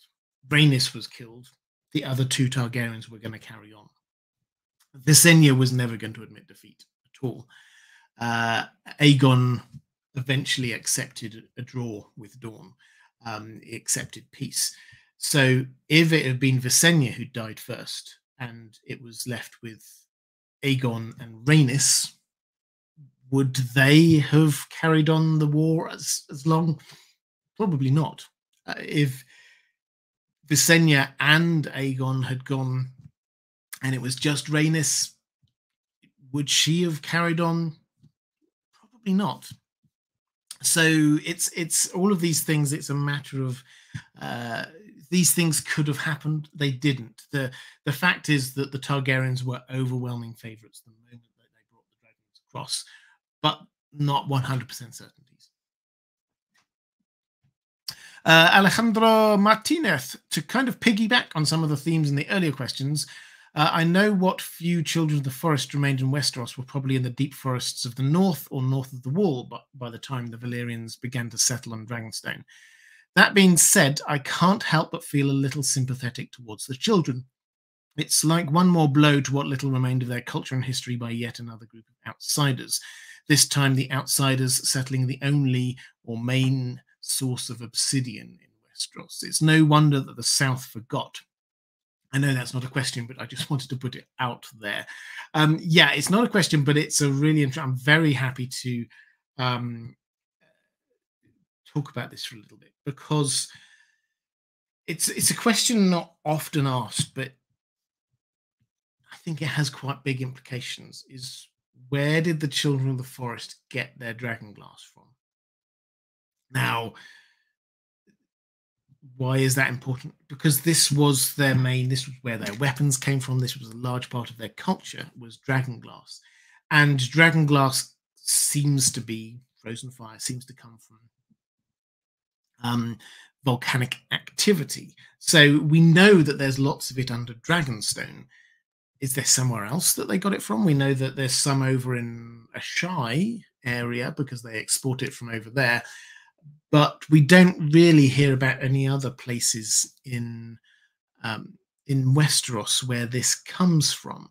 So, if they, who was there on Dragonstone to start with when the Targaryens took over?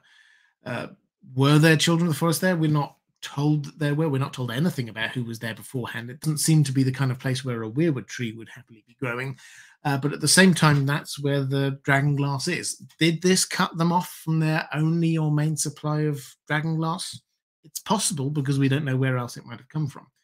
And also on the show, they had that. I mean, at the time, we thought, oh, this seems really significant. It didn't really turn into anything, but they they had that time when Jon and Dany go into the Dragonglass mines underneath Dragonstone and they see those cave drawings. The implication was that this was from the Children of the Forest, and the Children of the Forest had been here a long time ago. Um, had they? Uh, we we don't know. It's it's it's entirely possible that they had, and if so, when did they abandon it? Uh, when was it taken over? Who held it before the Targaryens came in uh, or the Valyrians came in? These are questions that are simply not answered. Um, in any event, the biggest source of Dragonglass was gone when Dragonstone was gone. Um, question from Ben. The first two invasions, uh, this being, um, I think, the uh, the Rhoynar and you were talking about the Rhoynar and the Andal invasions. The first two invasions brought cultural changes. Why didn't at least the upper classes become a little more Valyrian in their outlook and fashion afterwards? Well, this is, um, I think, uh, a result of what kind of invasion they were.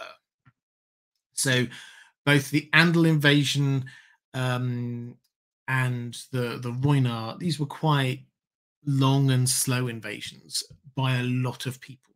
This was, and this was not just um, an army coming over. This was people coming over to colonize. So what happened in both cases was a lot of intermarriage. The families that were there uh, when the Andal invasion happened, they just married in with the Andals. The first men married in with the Andals and carried on.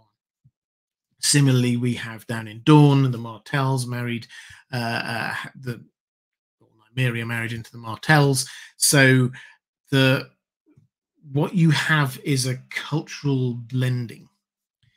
That wasn't what happened with the Targaryens. The Targaryens came in, there were just the three of them to start with, and they said, We're now ruling. We're in charge. They're not marrying anyone else.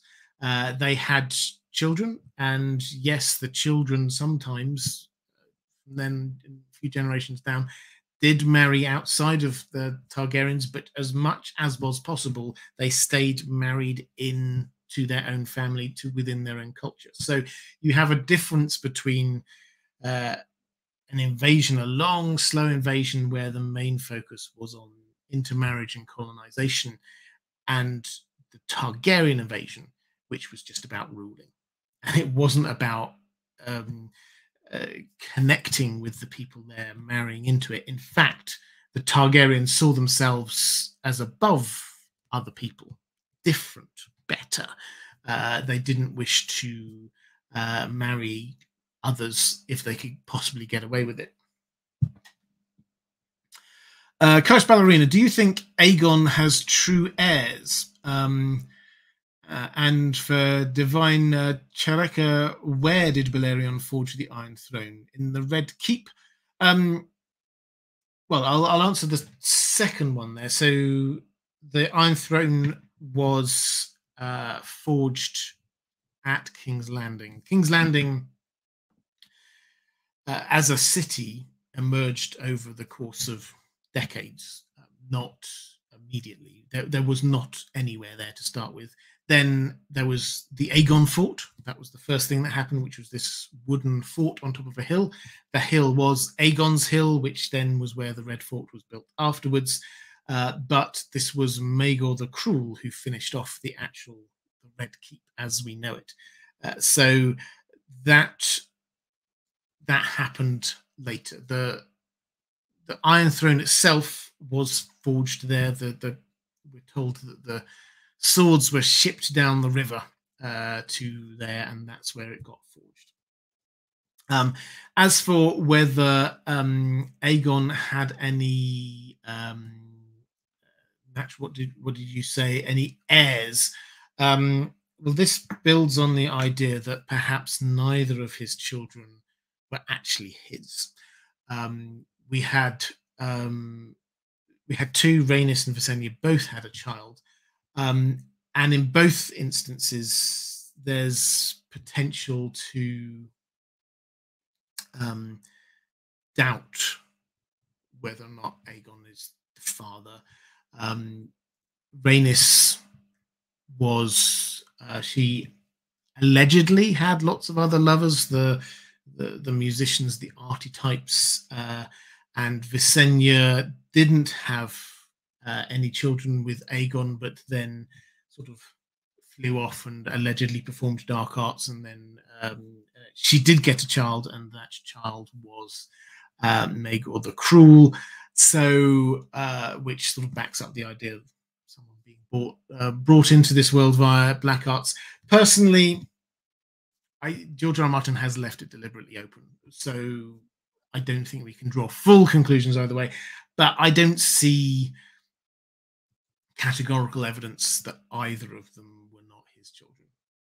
it's uh, maybe they weren't, but certainly the the Targaryen bloodline seems to have carried on. That they were. That was the Targaryen household. Those three, uh, and the Targaryen line appears to have carried on very happily down uh, with the Targaryen look and the Targaryen uh, genetic inheritance through them. So, for me, it seems most likely that they were Aegon's, but they, they, both are open to doubt. Uh, I, the one thing I would say about Visenya is I don't think we should take what the Maesters say as um, when it comes to magic users and particularly female magic users um, as being particularly objective. They all the way through Fire and Blood and all the way through uh, the World of Ice and Fire. If there's a, a woman that they wish to um, degrade in some way, then they call her a witch or say she dealt in black magic. Uh, if there is a woman who is a, a magic user, then it's never a positive thing it's always a bad thing. Uh, so uh, they, uh, if Visenya used magic, then they would see this as a bad thing, and this might be leading to the bad king. So I think we just have to take it with a bit of a pinch of salt. Uh, Chris Smedja saying, Congrats on 300k. Thank you. Um, unrelated, uh, but must ask. My theory is that Craster is Bloodraven's son. What implications could this have for Gilly's son? If sacrificed, could they unknowingly be using King's blood? Um, yeah, I so I at some point I will do a Craster who is Craster video. It's on my long list. I I tend to the view that Craster isn't anybody special. I think that we've um, uh, because he appears um,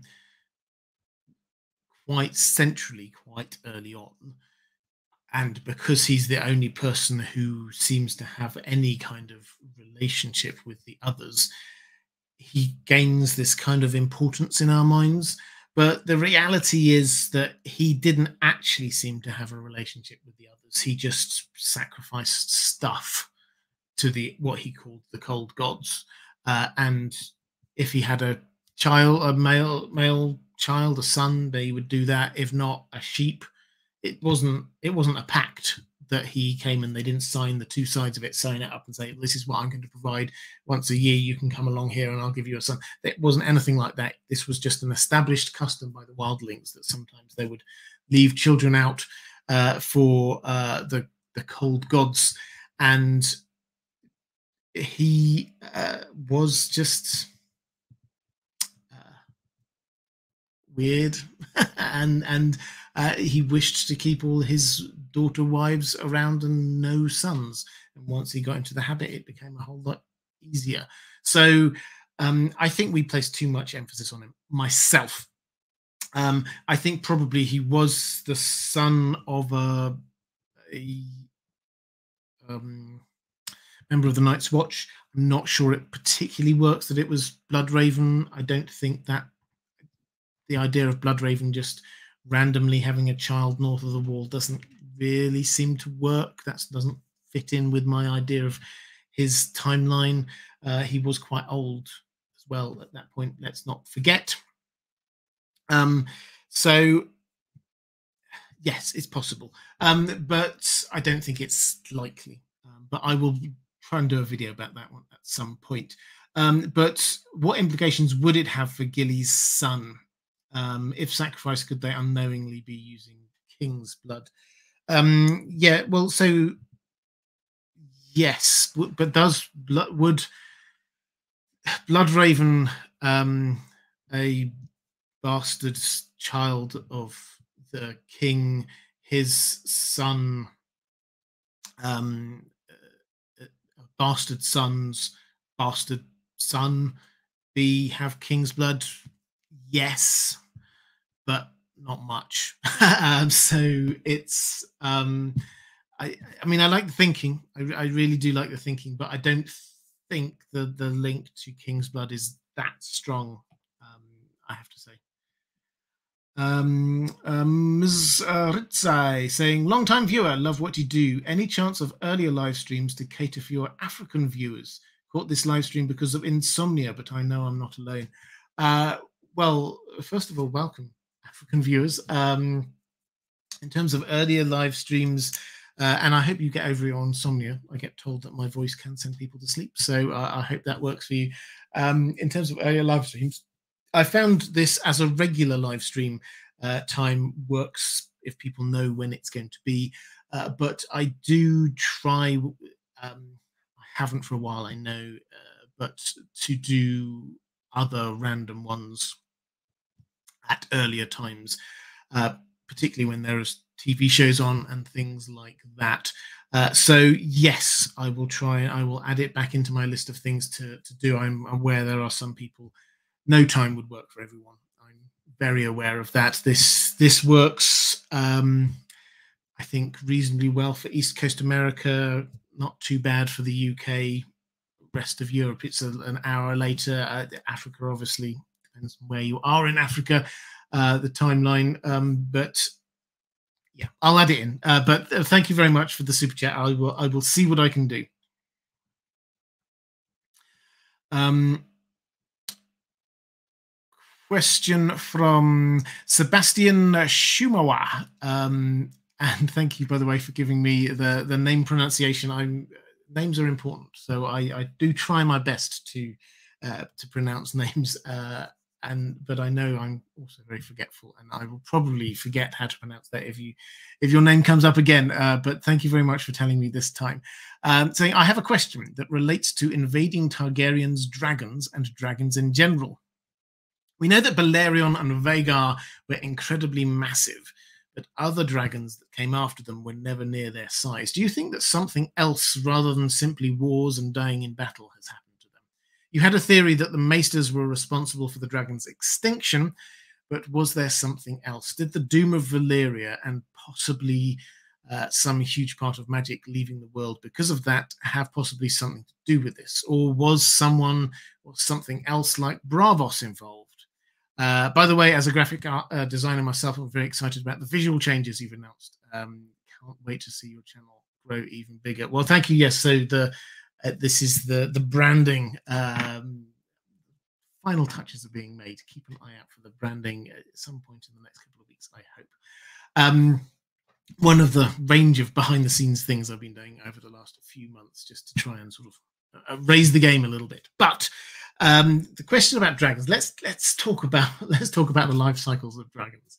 So in the the world of ice and fire, it's very clear that dragons keep growing through their lives. In in natural in a natural state, if they're out, they're not penned up, nothing bad happens to them. Uh, if they've got enough to eat, they will keep growing through their lives. They will get fiercer, they will get bigger, uh, their flames will get hotter. Uh, eventually, they do get more sluggish and sleep more and things like that when they get into dragony old age. But through their lives, they do just keep on growing. So that's the general life cycle of the dragon. Um, what is I find quite interesting, and I'm, I'm very happy to be contradicted on this if people can find another example. But I think that the only dragon that we're told about the entire life cycle of from beginning up to end and actually see them have a natural end, not killed in some way, not potentially poisoned by maesters, if you buy into that theory, um, is Balerion. All the other dragons are killed in some way uh, die early in some way. So Balerion is the only one that we actually see this whole life cycle. And Balerion is very old. Um, came across with the uh, the Targaryens and was then uh, from Valyria and was then so we don't know how old Balerion was at the time. Then was on uh, Dragonstone for a hundred years. Uh, then was with the um, Targaryens for over a hundred years after that. So it's there's a fair chance that we've got maybe a 300 year old dragon. Who knows? This is a very old dragon and has been growing through all that time. The other dragons also were growing, but most of the other dragons we see were killed in the Dance of the Dragons or uh, in the Dornish invasion or attempt at invasion of Dorne, uh, or in the years after the uh, the dance of the the dragons, where we get uh, dragons with stunted growth. That's the point at which I believe the Maesters started getting involved.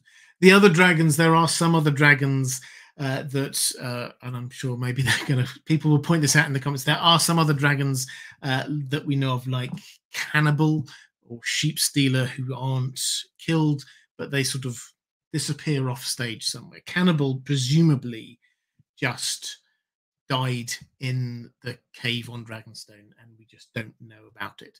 Um, sheep stealer disappeared into the mountains of the moon, and we don't hear from again.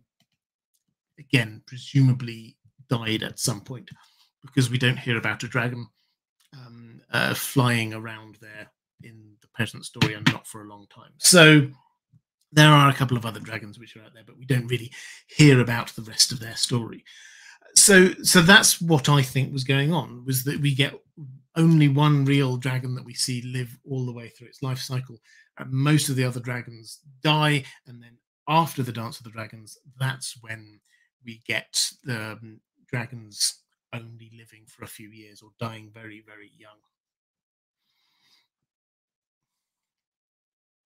Um, uh, Lindsay Petrchuk uh, saying, Hi, Robert. I think Visenya's smartest move during the invasion was a flying um, her dragon right to the Eyrie. It was a bloodless way to win over an entire kingdom. Do you agree? And what were Aegon's and Rhaenys's smartest moves? Yes, so I think yeah, I would agree. Uh, I mentioned already, so this is what Visenya did and won the, the Vale without a, a single uh, fired or, or, or, sword being drawn. This was um, a very, clever, canny thing to do. Uh, Rhaenys um, didn't really have a, a moment like that, uh, but in the one big battle that she was involved in, the one at Storm's End, what she did do was survey the ground first and use that intelligence. So she effectively went up above the battlefield first, saw where all the enemies were, got the reconnaissance done, came down, and then told Orys Baratheon, and he arranged his troops accordingly. Uh, and that probably was what ultimately won the battle because uh, Argilac was a great warrior and he did have a lot of very good soldiers. And there was a lot of heavy rain at the time, which meant that uh, the dragon couldn't fly again.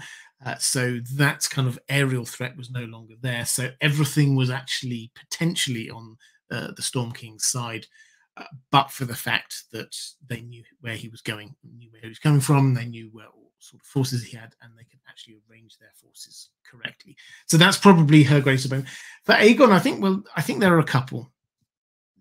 Undoubtedly, Harrenhal was the moment that made everybody just stop and go, okay, so that's what a dragon can do.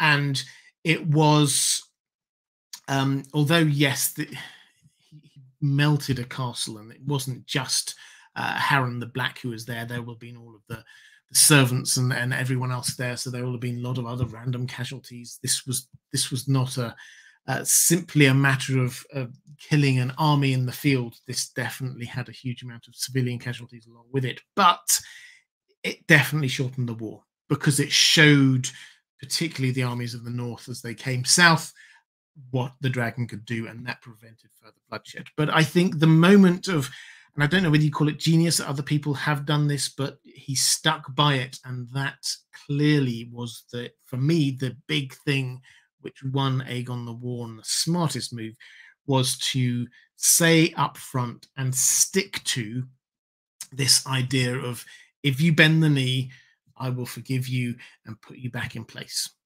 Because the moment that he said that, he and showed it happened after his first battle, it happened with the Starks. It happened with um, uh, even the Lannisters. The Lannisters had opposed him, uh, fought a battle against him, but then they bent the knee. The moment that he starts to show that this will happen every time, all you have to do is bend the knee. That allows people to have a proper option. They're not just fighting because this is a fight for survival. They know that they can retain their position and power, albeit not the title of king, uh, if they do not fight. And that allowed people like the Hightowers, for example, just to go, okay, open the gates, you can come in. That's fine. The moment that you you uh, allow people that way out, it cuts off huge amounts of potential wars. So I thought that that's probably his smartest move, uh, and it it allowed him to uh, have a, a, huge base of supporters uh, very very quickly. Um, 20. Uh, how did the Targaryens view bastards during the conquest? Most rulers would have been offended by the North sending Brandon Snow to negotiate, but it didn't seem to bother Aegon at all. What are your thoughts? Also, it said that Torrhen knelt to Aegon near the Trident. So, when was the first time the Targaryens actually travelled to the north? Um, well, in terms of viewing bastards, yeah, absolutely, he seemed to be completely fine with it. The the way as you say, that, that it happened with the Starks was the Stark army came south, and we get Brandon Snow, the bastard brother of Torrhen Stark. He initially wanted to shoot the dragons with some, uh, I think, weird arrows. Um, maybe that would have worked. We'll never know. Maybe we'll find out in A Song of Ice and Fire. But um, decided actually to send him over to do a little bit of negotiating. Aegon happily negotiated with him. Once they come to an agreement, Torrhen came up and, and met and bent the knee. So, uh, was he okay with it? Clearly, he was okay with it, and probably because his best friend was a bastard, Orys Baratheon. So he actually was fine with it. He thought this was just a normal and natural part uh, of uh, of who you have by your side and your most trusted advisor. His most trusted advisor, his hand of the king, was his bastard brother. So course, he would uh, be happy to deal with Torrhen Stark's bastard brother. He would just think that would work fine. Um, as for the second thing, when did the Targaryens first travel to the north? Well, the north as a whole, we don't know. We're not told exactly everywhere that um, Aegon went, went on each of his different progresses. But in terms of visiting Winterfell, we are told that on his last progress, he visited even Winterfell. Uh, and the clear implication was that this was the first time he went. That was the year 33 AC. So that was 35 years after stepping, setting foot on Westeros uh, to launch his invasion. The, the, the year zero is when he was crowned in Oldtown, um, which I think just adds to the very clear notion that this he didn't he didn't invade Westeros because he wanted to see what was happening at the wall. as far as we know, he never even went to the wall. Uh, he certainly didn't go to Winterfell for um, you know, three and a half decades. This was not a priority for him. So um, yeah, it's uh, he he took quite a hands-off approach, as most of the kings did, frankly, took quite a hands-off approach when it came to the north. Uh, as long as the Starks were playing ball, they were accepting the fact that they were lords paramount. They weren't kings anymore. He largely left them alone. Um, uh, Luke um, Morano, perhaps, um, saying, I'm behind on the stream, so I don't know if this was already discussed. But do you believe Maegor and Aenys are really Aegon's children? Thanks for the content, by the way. Uh, yes, this has already been discussed. I discussed this half an hour ago, perhaps. Um, and my very broad conclusion on that is that it's possible that neither of them are. It's probable that uh, both of them uh, are his uh, children we don't have any conclusive evidence either way, and I don't think that we can therefore draw any firm conclusions either way. Um, so yeah, I don't know. It's it's it's there's there's there's nothing conclusive about this, but I don't see and and you could argue that because there's no conclusive evidence, then we have to assume that they are his children. there are rumors, but they're only rumors, uh, and one or either or both could be or could not be which is not perhaps the the, uh, the answer that a clear cut answer we'd like, but this is the world that George. R. Martin has given us. He has given us a world that is not always 100% clear. It's a world where we have different people's views, not uh, an objective, omniscient third person narrator telling us the truth of everything. Uh, Jewel Elson saying, Many congrats on 300k subscribers. Thank you. Um, I missed the first few minutes um, and the cloak, but really looking forward to watching it later. P.S. Please say Higa Herga and Googly Woogly. I'm always happy to say Higa Herga and Googly Woogly. Thank you very much for the super chat, and, and I know you've uh, you've been a um, uh, part of this community and a viewer and a subscriber for for a long time. So uh, thank you. Uh, the next go to a question from Creative Branches.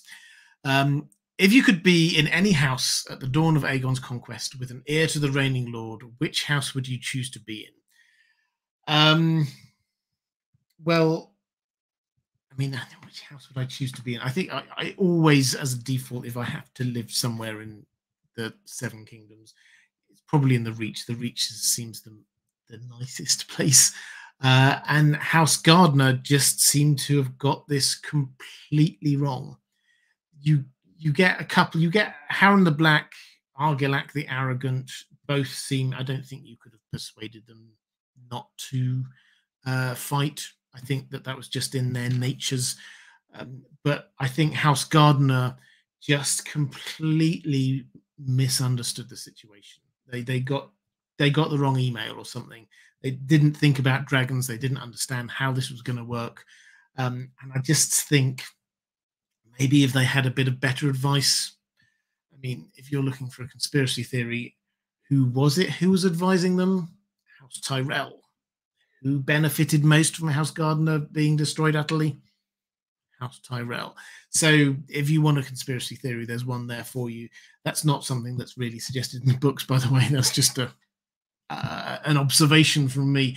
But um, I, th- I think they're the ones who just played it the worst for everybody. You can't. I, I, you expect it from Harren the Black. You expect it from um, Argilac. The Lannisters, yeah, they they were involved in the the Field of Fire, but they realised afterwards that they got it wrong, uh, and then did the sensible thing. But um, really, the no House Gardener just they could have done so much better.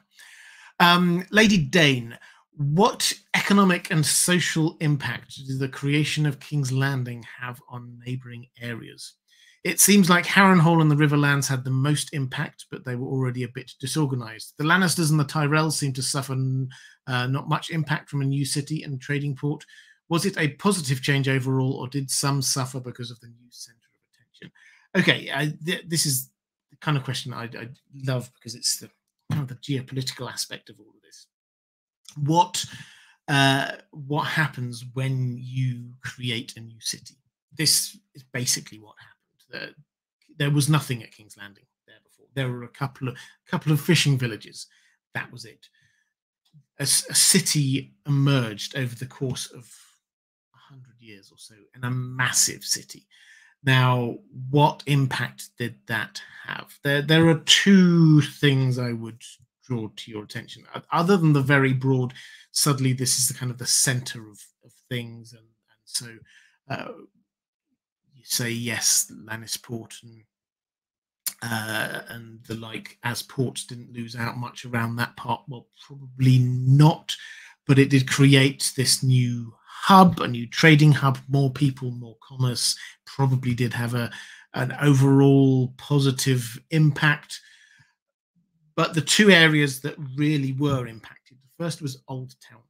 Old Town was the city. This was the the, the old town, the, the original place in, in Westeros that had been the biggest city for as long as anyone knew, uh, as long as Westeros had had humans this was the center of where the, the maesters were. This was the center of where the, the faith of the seven was. This was the most populous place. This had the, one of the richest families there, the most influential families in the Hightowers.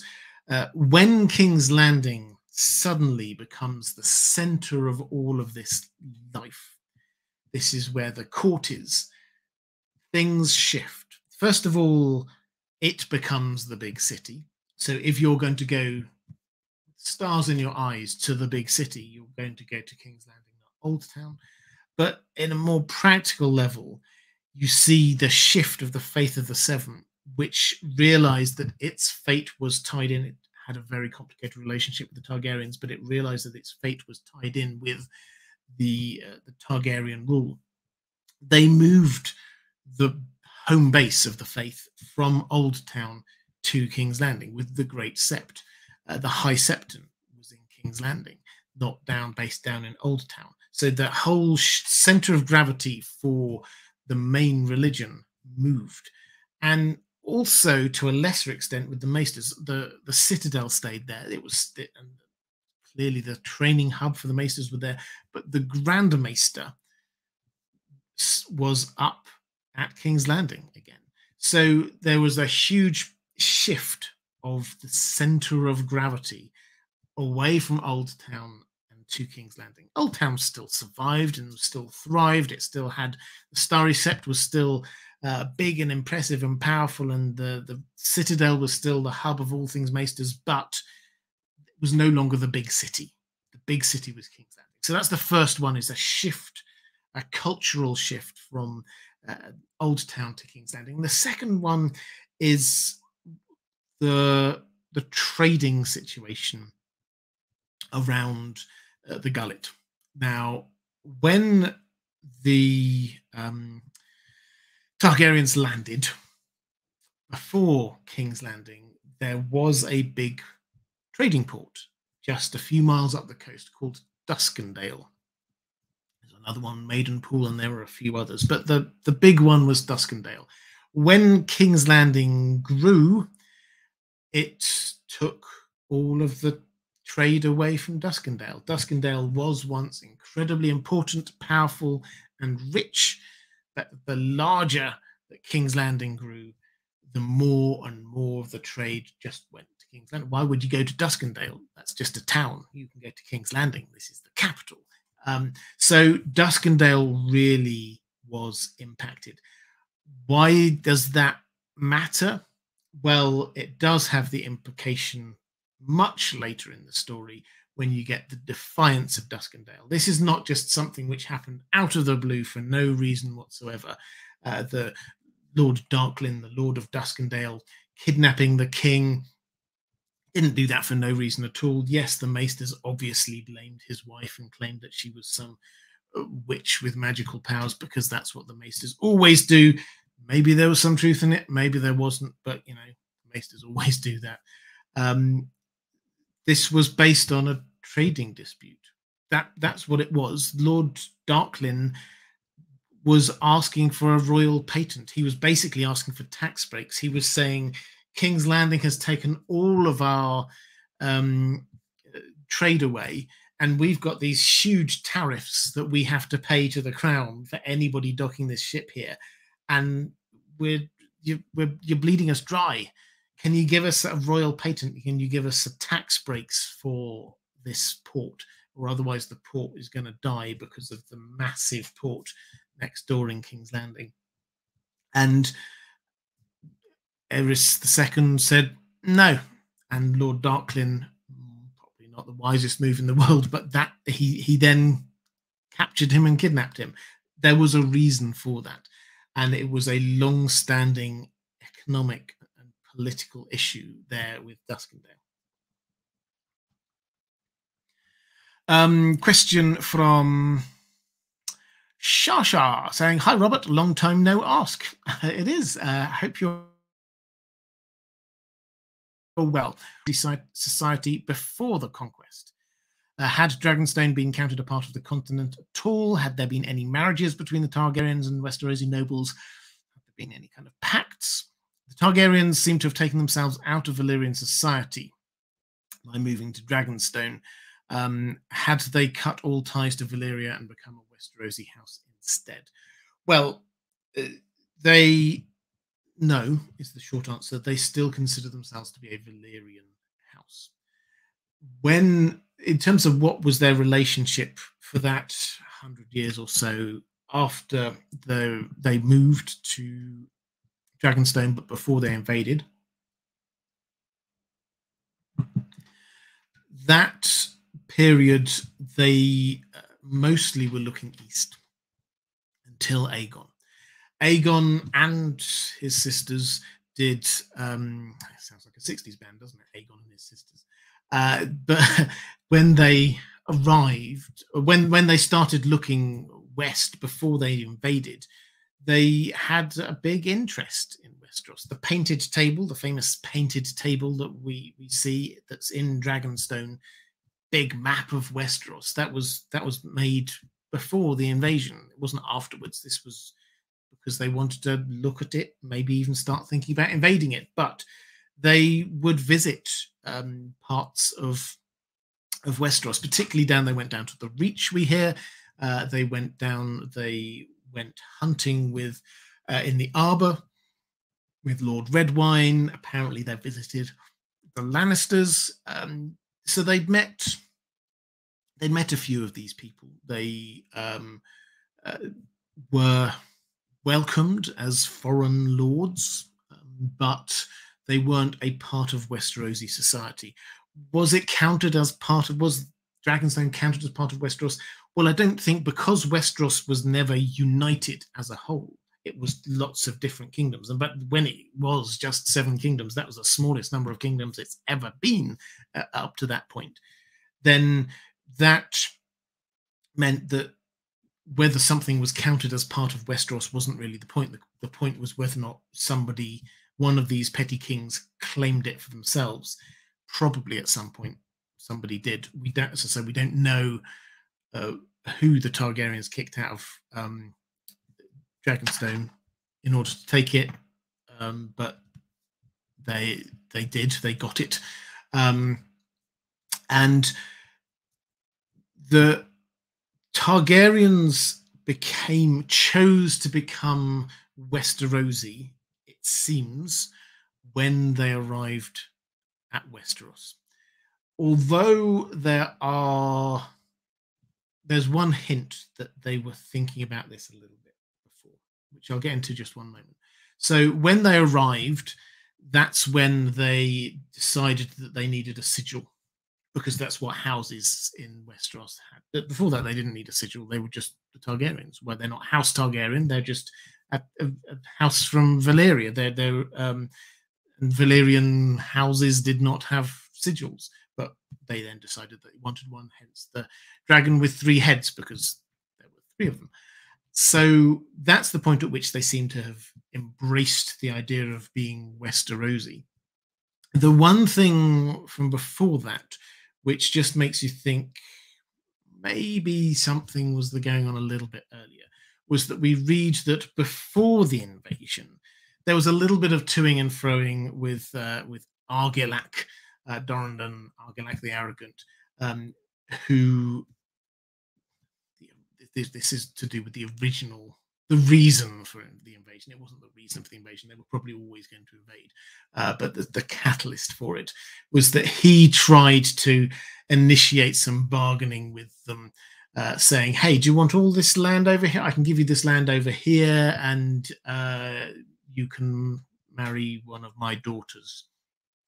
Uh, and Aegon went, okay, two, two things. First of all, I don't think you own that land anyway. Um, and secondly, um, I've already got two wives. I don't need an, another one. But I'll tell you what, um, if you give me all that land and, and a little bit of this other hand, land here that you own, then you know we'll maybe we can talk. And he sent a, an envoy over, and Argilac went, no, not having that, uh, and then chopped off the hands of the envoy, nice guy that he was, and put them in a box and sent them back with a refusal. And that was the the reason why, uh, the given reason why there was uh, the invasion happened.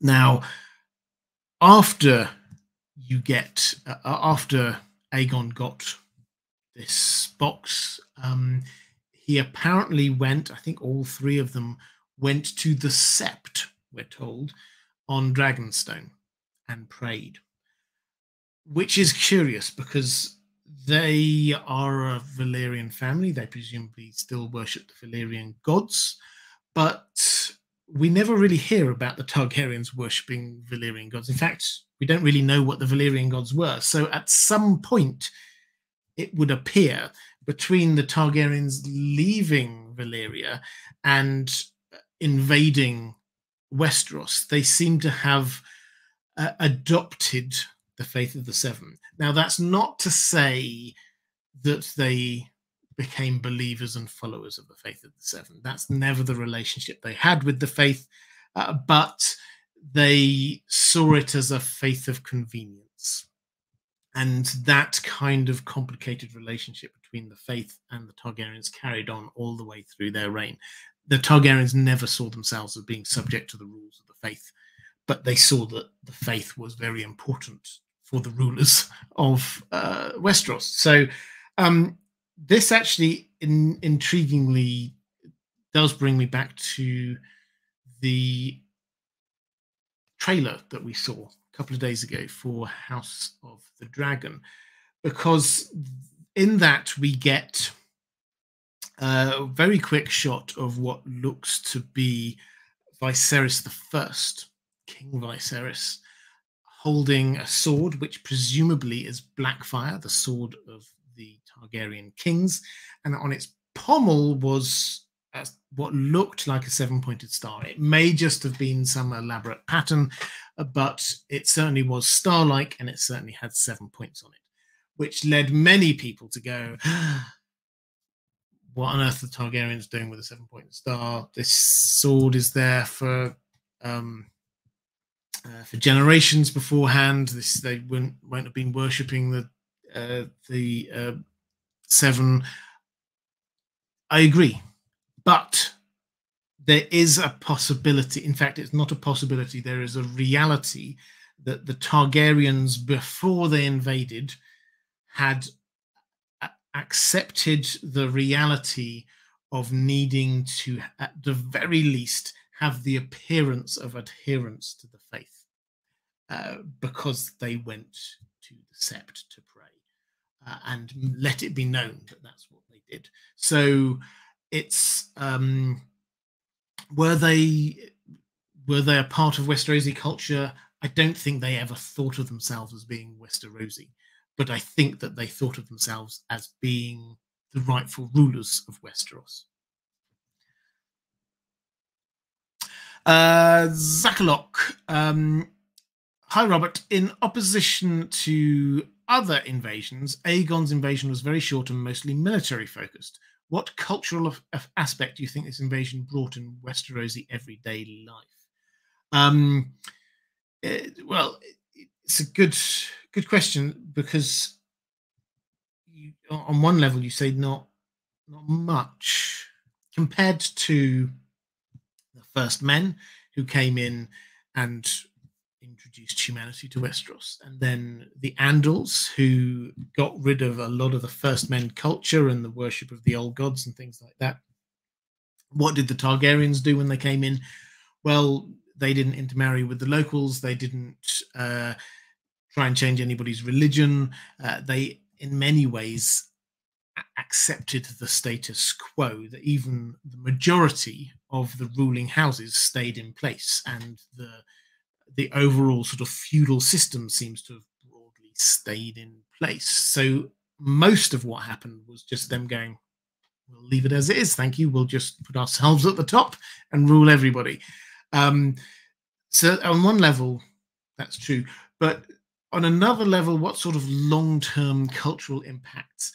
There there is very clearly a long-term cultural impact of boring things with real impacts like the homogenization of laws and legal systems.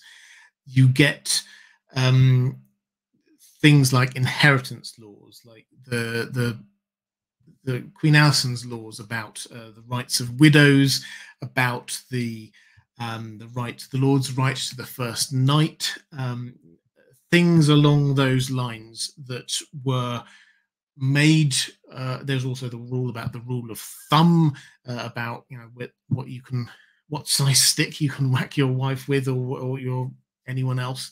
Um, that kind of that, which was incidentally a real law. That's where the rule of if you don't know about this, this is a bit of horrible history for you. Uh, is that this was the rule of thumb was that if if you if you had a, a rod or a stick, if it was thicker than your thumb, then you were not allowed to hit your wife with it. If it was thinner than your thumb, then you could, uh, or your servants.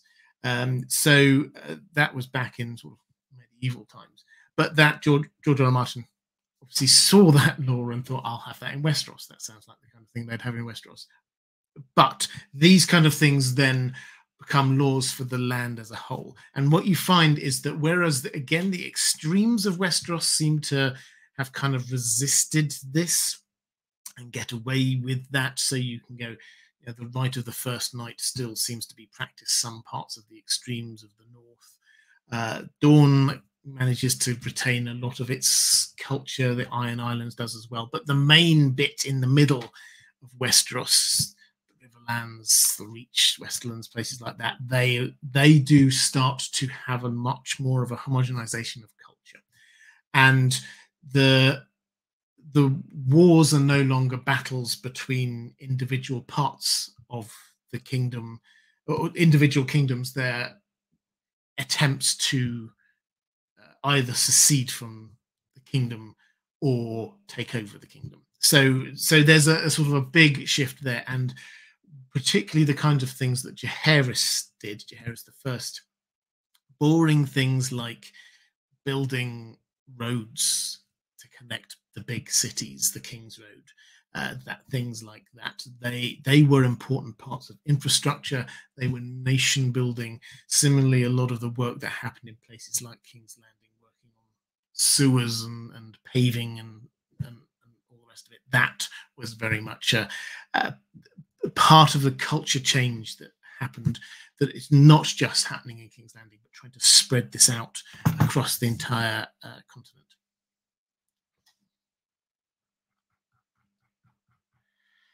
Um, question from uh, Plum Cattle. Uh, what do you think will happen to Dorne in the books? Congrats on 300k. You deserve all the subscribers. Well, thank you very much. Um, what will happen to Dorne? Um, I think actually, I think maybe I had a question. Uh, uh, no, I can't say. If I did have a question on it from my one on pa- patrons, I can't see it. But what will happen to Dorne in, in the context of the books? Well, what will happen next is that we get the, the latest iteration of Doran Martell's eternal cunning plan to marry his family to the Targaryens, uh, this time having um, attempted to be marrying Arianne to uh, Viserys and then attempted to marry um, Quentyn to Daenerys. He's now going to try and marry Arianne to um, Fagon. So that will bind the Martells to Fagon. Why? Why will he want to do that? Well, as I've mentioned before on live stream, I think what's going to happen, he's going to get a special delivery coming in from Meereen very soon, which is coming from Barristan. We know he's going to do it because he said so. He's a man of his word. He is going to send Quentyn's bones back to Dorne uh, with a little note attached to them that says, uh, "Hi, here's your son's, uh, your oldest son's bones. Uh, he did come." As you requested to ask Daenerys to marry him, she said no The very next day, in fact, she married someone else. Now she's flown off somewhere and we don't know where she is. And none of this is going to endear Doran to Daenerys Targaryen, uh, particularly when it's, oh, and by the way, Daenerys' dragons then burnt your son to death. Uh, none of this is going to um, endear Daenerys to uh, Dorrance, and as he has an invasion already underway with somebody claiming to be a Targaryen, I think he will put his weight behind uh, him. So the Martells are going to be uh, uh, bundled up with Fagon for certainly a large part of the Winds of Winter. That, however, is not going to last very well. Daenerys, there will be confrontation between Daenerys and Fagon, I suspect. And I think at that point, Doran finally his time will be up. And I think that we will see the next generation uh, in in um, Dorne taking over. This is what has happened across the piece. You will see almost everywhere in the Seven Kingdoms. You will find that what has happened is that the the elder statesman figure who was there, the patriarch who was there as the leader of any main house, is dies, and who takes over? Quite often, it's it's a woman that seems to be happening all over the place. So um, you get Tywin Lannister goes, you've got Eddard Stark goes, Robert Baratheon goes, um, Doran Martell will go. All of these kind of patriarch figures will go, and who's going to be left at the end? Uh, often it's going to be a woman, and, and there, who will it be? Maybe Arianne, maybe one of the Sand Snakes. Um, we'll have to wait and see. But that's what's going to be there.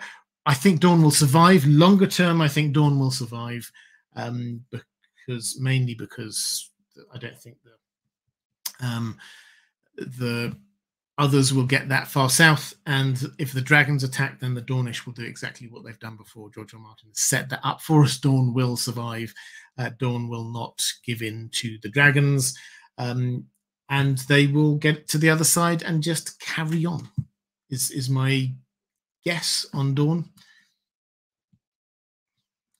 A question from um, uh, Mizritsai saying, not related to this current chat, but I can't take it anymore. What do you think the Hightowers are doing in the current storyline right now? Uh, well, maybe I should do a maybe I should do a video on the Hightowers. The Hightowers right now are pre- preparing to defend themselves against attack from. Um, uh, why do I always get mind blanks at some point? Um, you you know who I'm talking about. Um, somebody in the chats uh, tell tell me who it is. I, it's clearly far too late, and I clearly had far too big a sip of my uh, my wine. Um, uh, but uh, they they are there preparing uh, for, for an attack from the Ironborn. And what you'll find is that they have sent out. So you get Leyton Hightower, who has sent out his sons to go off on various missions. One of them has head, headed off to Lys to try and get some cell ships, uh, sellsails to come back. Um, Euron. How can I forget Euron? Apologies. Uh, but so he he sent um, one son over there to go uh, to try and get some sellsails to come back and help uh, defend uh, the um, Oldtown. Another one is shoring up the defenses. Another one is going out trying to uh, get the uh, the weed weedle out any um, spies. Euron has been sending some spies into Oldtown. Uh, Leyton Hightower and his daughter probably are there doing some sort of magicy thing. What is their so that's what their immediate priority is just defending Oldtown. What is their getting bigger game because they are clearly a big and powerful, important family who haven't done much yet? Well, a lot of the the boring answer is probably that, just that. This is the history of House Hightower, with the uh, the honourable exception of the Dance of the Dragons, when they kind of overstepped the mark. Generally speaking, what they have done is they have stayed in the walls of Oldtown, waited to see who's who's going to come out on top in battle in the big war, and then just accepted them as the new leader.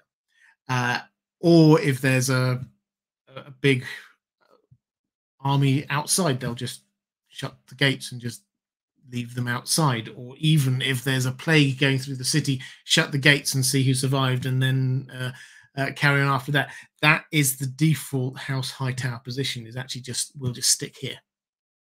Um, their influ- their their game plan is influence out through all of the different mechanisms they have through some bit of magic, through uh, the the faith, through the maesters. That is where their influence goes. There are other possibilities. Maybe they are the friends in the reach that uh, the Golden Company talk about, um, uh, but mostly they're staying at home. I think.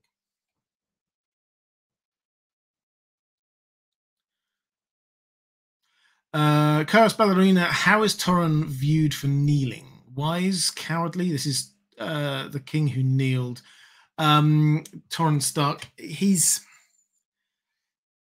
I mean, a bit of both, I think, is the answer. I think that it's viewed as a sad time for the Starks. I think that's very much the feel that we get from this is that it's viewed as it's he, he's the king who kneeled. He shouldn't have. That's not what Starks are about but I don't think anyone blames him for it.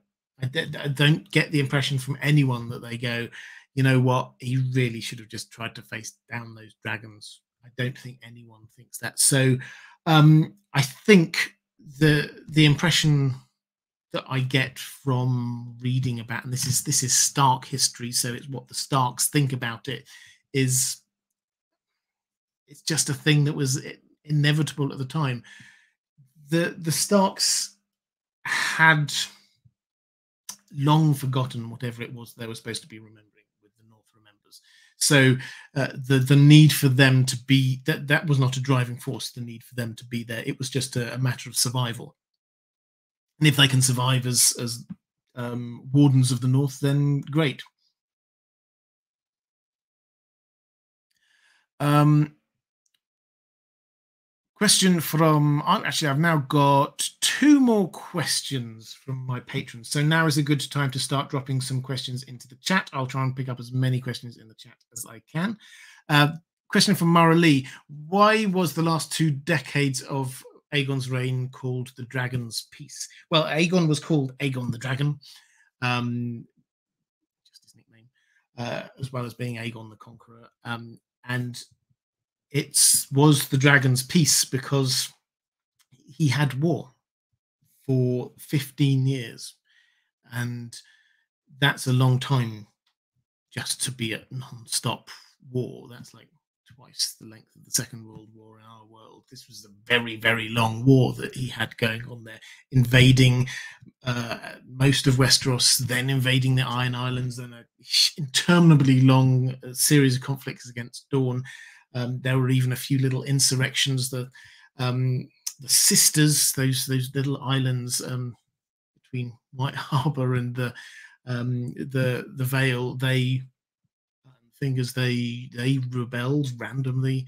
Uh, so there was war for 15 years, and then finally Aegon came to a peace accord with the Dornish, and from that moment he then went to trying to establish his kingdom. And so it was uh, it was the dragon's peace. The the peace was there because not because everybody loved him, because everybody thought, "Oh, you're our great and wondrous and wise ruler," because he had a dragon. That was that was why, and people were not going to rebel against him because he had a dragon.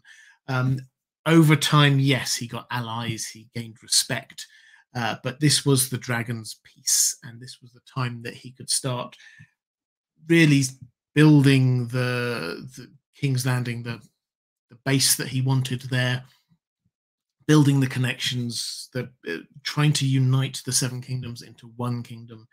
Uh, this was his time of peace. Uh, Lauren Mintz saying, Hello, Robert. My question is about the mentality or evolution of the Targaryens. During the conquest, Aegon was ruthless against those who opposed him, but also very lenient to those who supported him, even if they did initially attack him. To me, this doesn't seem like what the modern Westerosi say is the Targaryen nature, as they are thought to be bringers uh, of only fire and blood. It just doesn't seem like Aegon was as bloodthirsty as they say the Targaryens were. Is this supposed to reflect the views of the people post Robert's Rebellion? Um, or should we just blame the incest? Uh, what's your take, and what do you think George R. R. Martin is trying to say here? Well, uh, my take is that um, the the stories that we have been told about Aegon the Conqueror, we always have to look through the filter that George R. R. Martin gives us, which is the filter of of the um, uh, the maesters.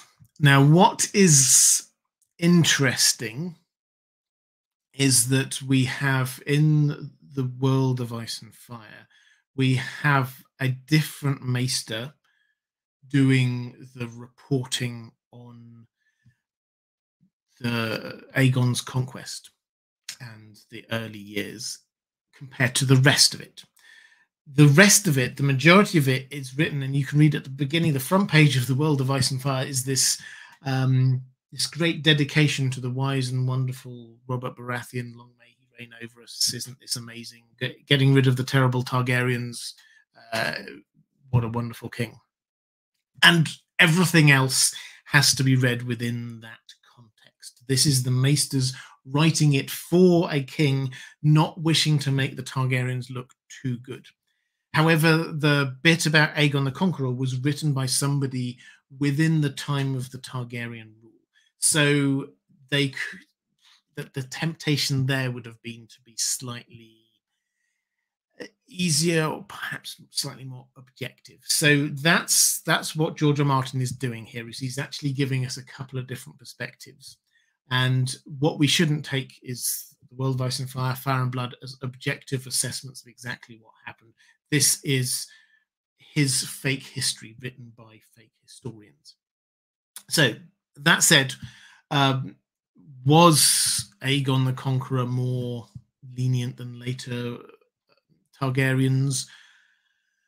Uh, I mean, I don't think you would say that personally. If you look at what he did, he was very canny. As I say, I, I thought the cleverest thing, the smartest thing he did uh, upfront saying if you bend the knee, then you can have all of the powers that you had. You just can't call yourself king anymore. Um, that was very smart and very lenient.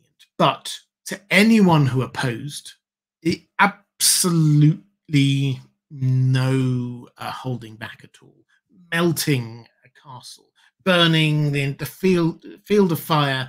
He burned the entire army that was what it was. Then the Targaryens as a whole, they burned all the way across Dorne, Plankytown, which is, uh, if, if you imagine a a port, one of those ports that's just made up of uh, of little boats tied up against each other to create a sort of a large um, platform of planks of flat boats. Uh, they burnt it. People, innocent people died. This wasn't a army base. This wasn't a, place where the uh, the Dornish navy were based. This was a civilian port, and they went and burnt it just because they wanted to. The Targaryens wanted to show the the Dornish that they meant it. So this that they meant things. So there was a lot of fire and blood that went on there. This wasn't um, this wasn't sort of nice and lenient. It was pure pragmatism. This I will leave you in power.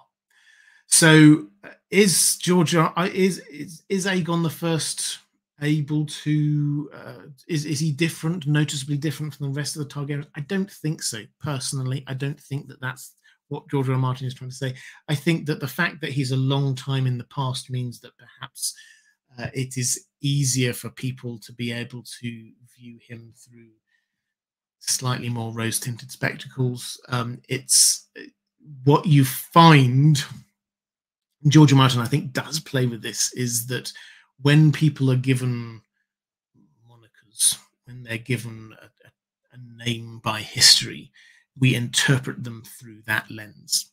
Uh, Argilac the Arrogant was not called Argilac the Arrogant by his own people in his own time. He was called that in posterity afterwards because he was so arrogant he faced against the, faced down the Targaryens. S similarly, you get Maegor the Cruel was called cruel afterwards. This is the name, and then you interpret everything he does through that lens. Aegon the Conqueror, Aegon the Dragon, we're interpreting everything through that lens.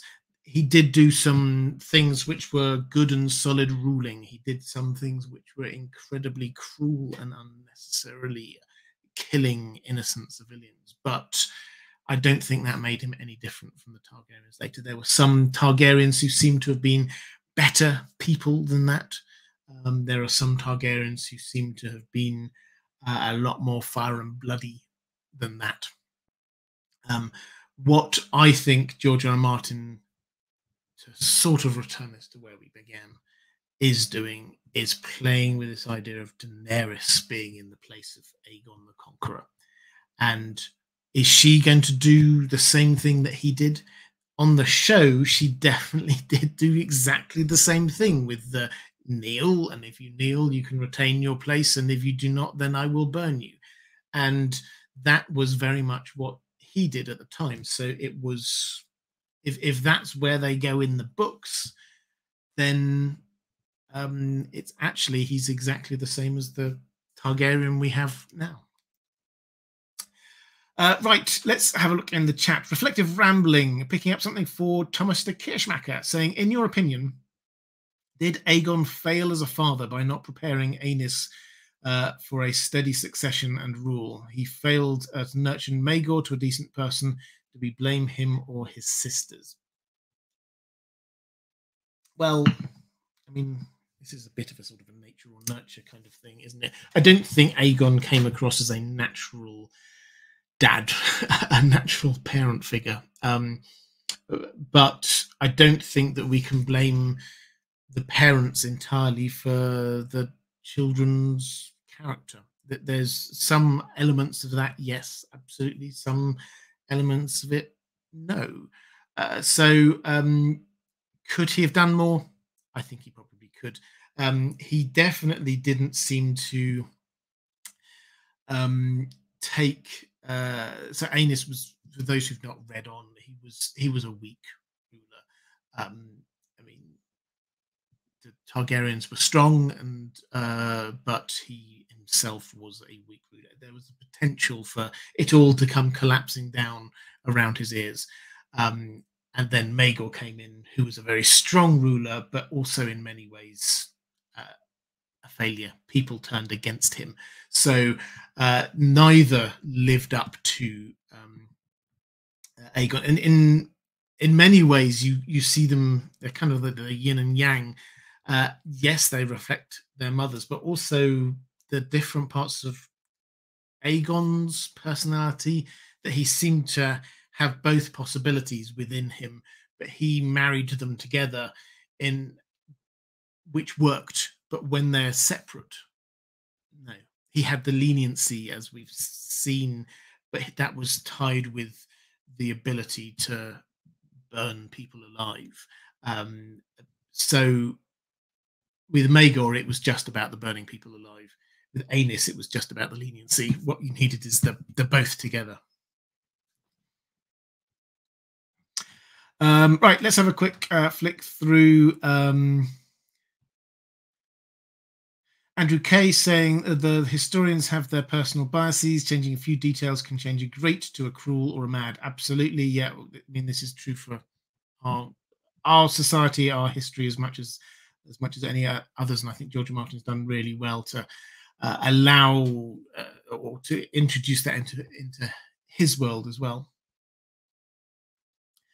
Um, uh, Shauna Bass, it'll be interesting to see how Dany is perceived versus Aegon, with her being a woman versus a man. I'm not sure if anyone ever called Aegon mad, uh, so it'll be interesting. Yeah, that's that's a really good point. George R. Martin definitely uses this as well as trying to show how women doing exact same things as men get viewed differently. So I think that. Um, at the risk of going meta on this, the the fact that the TV show prompted a debate about whether Dany was mad, um, I think is actually the kind of debate that George R. R. Martin is going to try and make us have about book Dany, in that he will we, we're naturally on her side, but she will almost certainly do things that we don't 100% agree with, perhaps sometimes we might 100% disagree with. Um, but what why is that? Is that just a part of her nature? Can she do anything about that? Should we start to dislike her? These are the kinds of questions that george r. Martin i think is wanting us to uh, explore. Dany is taking a darker turn uh, in the next two books. That's not my opinion. That's not what i think that's what george r. r martin has said so uh, I we can talk around what exactly that means, what exactly she's going to do. But the fact is that she's going to take a darker turn, a more fire and blood turn. Is George R. R. Martin has confirmed that. So uh, that's now baked into our understanding of where she's going. What he is going to want us to do is is take at the sympathy that he gave us the first few chapters of Dany. We are so sympathetic to her and because of everything that happened to her. And a lot of that sympathy remains all the way through the five books that we've had, um, despite her, again, not doing necessarily exactly what we would want all the time. We're still very sympathetic to her. Is she going to keep our sympathy? And that's something I think George R. Martin is, is wanting to play with in the next uh, couple of books. Um, Martin McFly, how did the Dornish just go into hiding and just attack the Targaryen army when the dragons left? Well, we don't know. We're not told, and that's because they weren't. They won't divulge their secrets. But the the clear implication is that this is the this is like guerrilla warfare. Now, this is the. I don't know whether George R. Martin talked about it in exactly these terms, but this is like Vietnam. That's what he wanted the field to be. Is that you they knew the Targaryens knew where the Dornish were, but by the time they got there, the Dornish knew the ter- the territory so much better than them than they just disappeared. Maybe they dug underground. Who knows? They can't find them. Uh, maybe they've gone somewhere else. Maybe they're uh, they've they've found some ingenious way of hiding from uh, dragons flying above. We don't know. The the the whole point is that this is them knowing and understanding their local terrain and fighting a guerrilla warfare that dragons can't superior firepower just cannot deal with it. Um reflective ramblings are you saying the good queen Alysanne is a lie? Uh of my heart. I, I mean i don't i don't know if i'm saying that it's a lie um, I think that she was a good queen, actually, as I said, I said, I said earlier on, she's one of my favorite Targaryens. Um, but I think that um, we come into our understanding of what she's like through the prism of thinking she is good Queen Alysanne. Uh, we don't come into it thinking this is the if if um, if somebody else were writing her story and wishing to cast her in, in a bad light, uh, they may say um, they may put her the um, Al- Queen Alysanne, the brother lover, Queen Alysanne, the um, I, I, don't know whatever, but she did a whole load of things that you might think mm, not so sure about that. Uh, she was very much uh, happy and on board with this uh, this teaching and, and idea that went around that said that the Targaryens are not like everyone else and therefore shouldn't be subject to the same rules as everyone else. To me, that comes across as um, saying that they are better than other people. Um, so there's there are words for that which are not particularly nice. You could apply one of those to uh, to her. Um, but generally speaking, yes, I think she was a, a, a good queen. Um, Varys Aurelius saying Aegon was basically a Civ 6 player in the late game. I got these nukes. Guess I might as well use them. Uh, yeah, yeah, I, mean, I think so. I, it's more uh, if you're going to go into Civ uh, Civ games. Um, I don't think I ever played Civ Six, but I played I played a few Civ games. Uh, but basically, he's he's the situation where he sends out and what do you send out envoys? I can't remember diplomats, uh, and you can lay out down some terms and say surrender now and um, and bend the knee, and if they don't, then you nuke them. That's the work. That's the thing he's in. Rather than just saying, well, I think I might as well just use these nukes. He gives people the option. He sends in the diplomat first. Um, Andrew K saying uh, could have been avoided, but I think the carnage of Harrenhal is often underplayed. It was not just a family; he was basically it was basically a metropolis. Uh, likely Aegon roasted thousands. Yeah, it's absolutely true. So I think that this is something. Uh, I mean, I've noted this before, and I think you're absolutely right to note it as well. He the Harrenhal is huge. I mean, acres and acres big. It's the biggest castle, the size of a town. Um, and there were thousands of people who lived there, uh, and they weren't all soldiers by any stretch of the imagination. And what happened was not just, well, I'll just precision shoot the the king, Harren the Black, and his sons.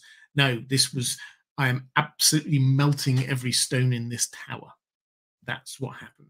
Even even the people preparing the dinner down in the, the, the cooks down um, uh, on the ground floor, they're they're gone. Absolutely everyone's gone.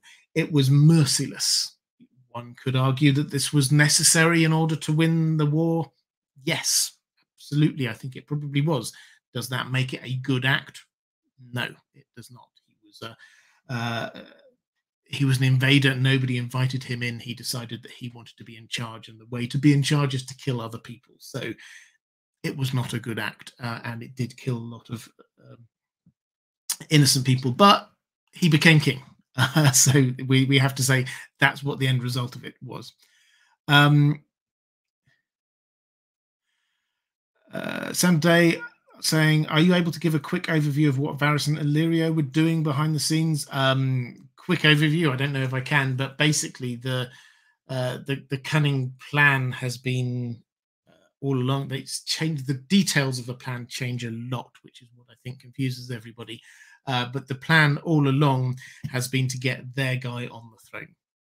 Now, uh, that will happen a number of different ways. The the first of all, they thought, well, we'll get Viserys to come with the Dothraki horde and sweep across um, the land, uh, and then we'll bring our guy in after that and get him to marry Daenerys, and well, by implication, Viserys would have an accident or die or something. They knew they knew what Viserys was like. Viserys was not going to remain uh, a, a, loved king for very long, so um, that was a part of the plan.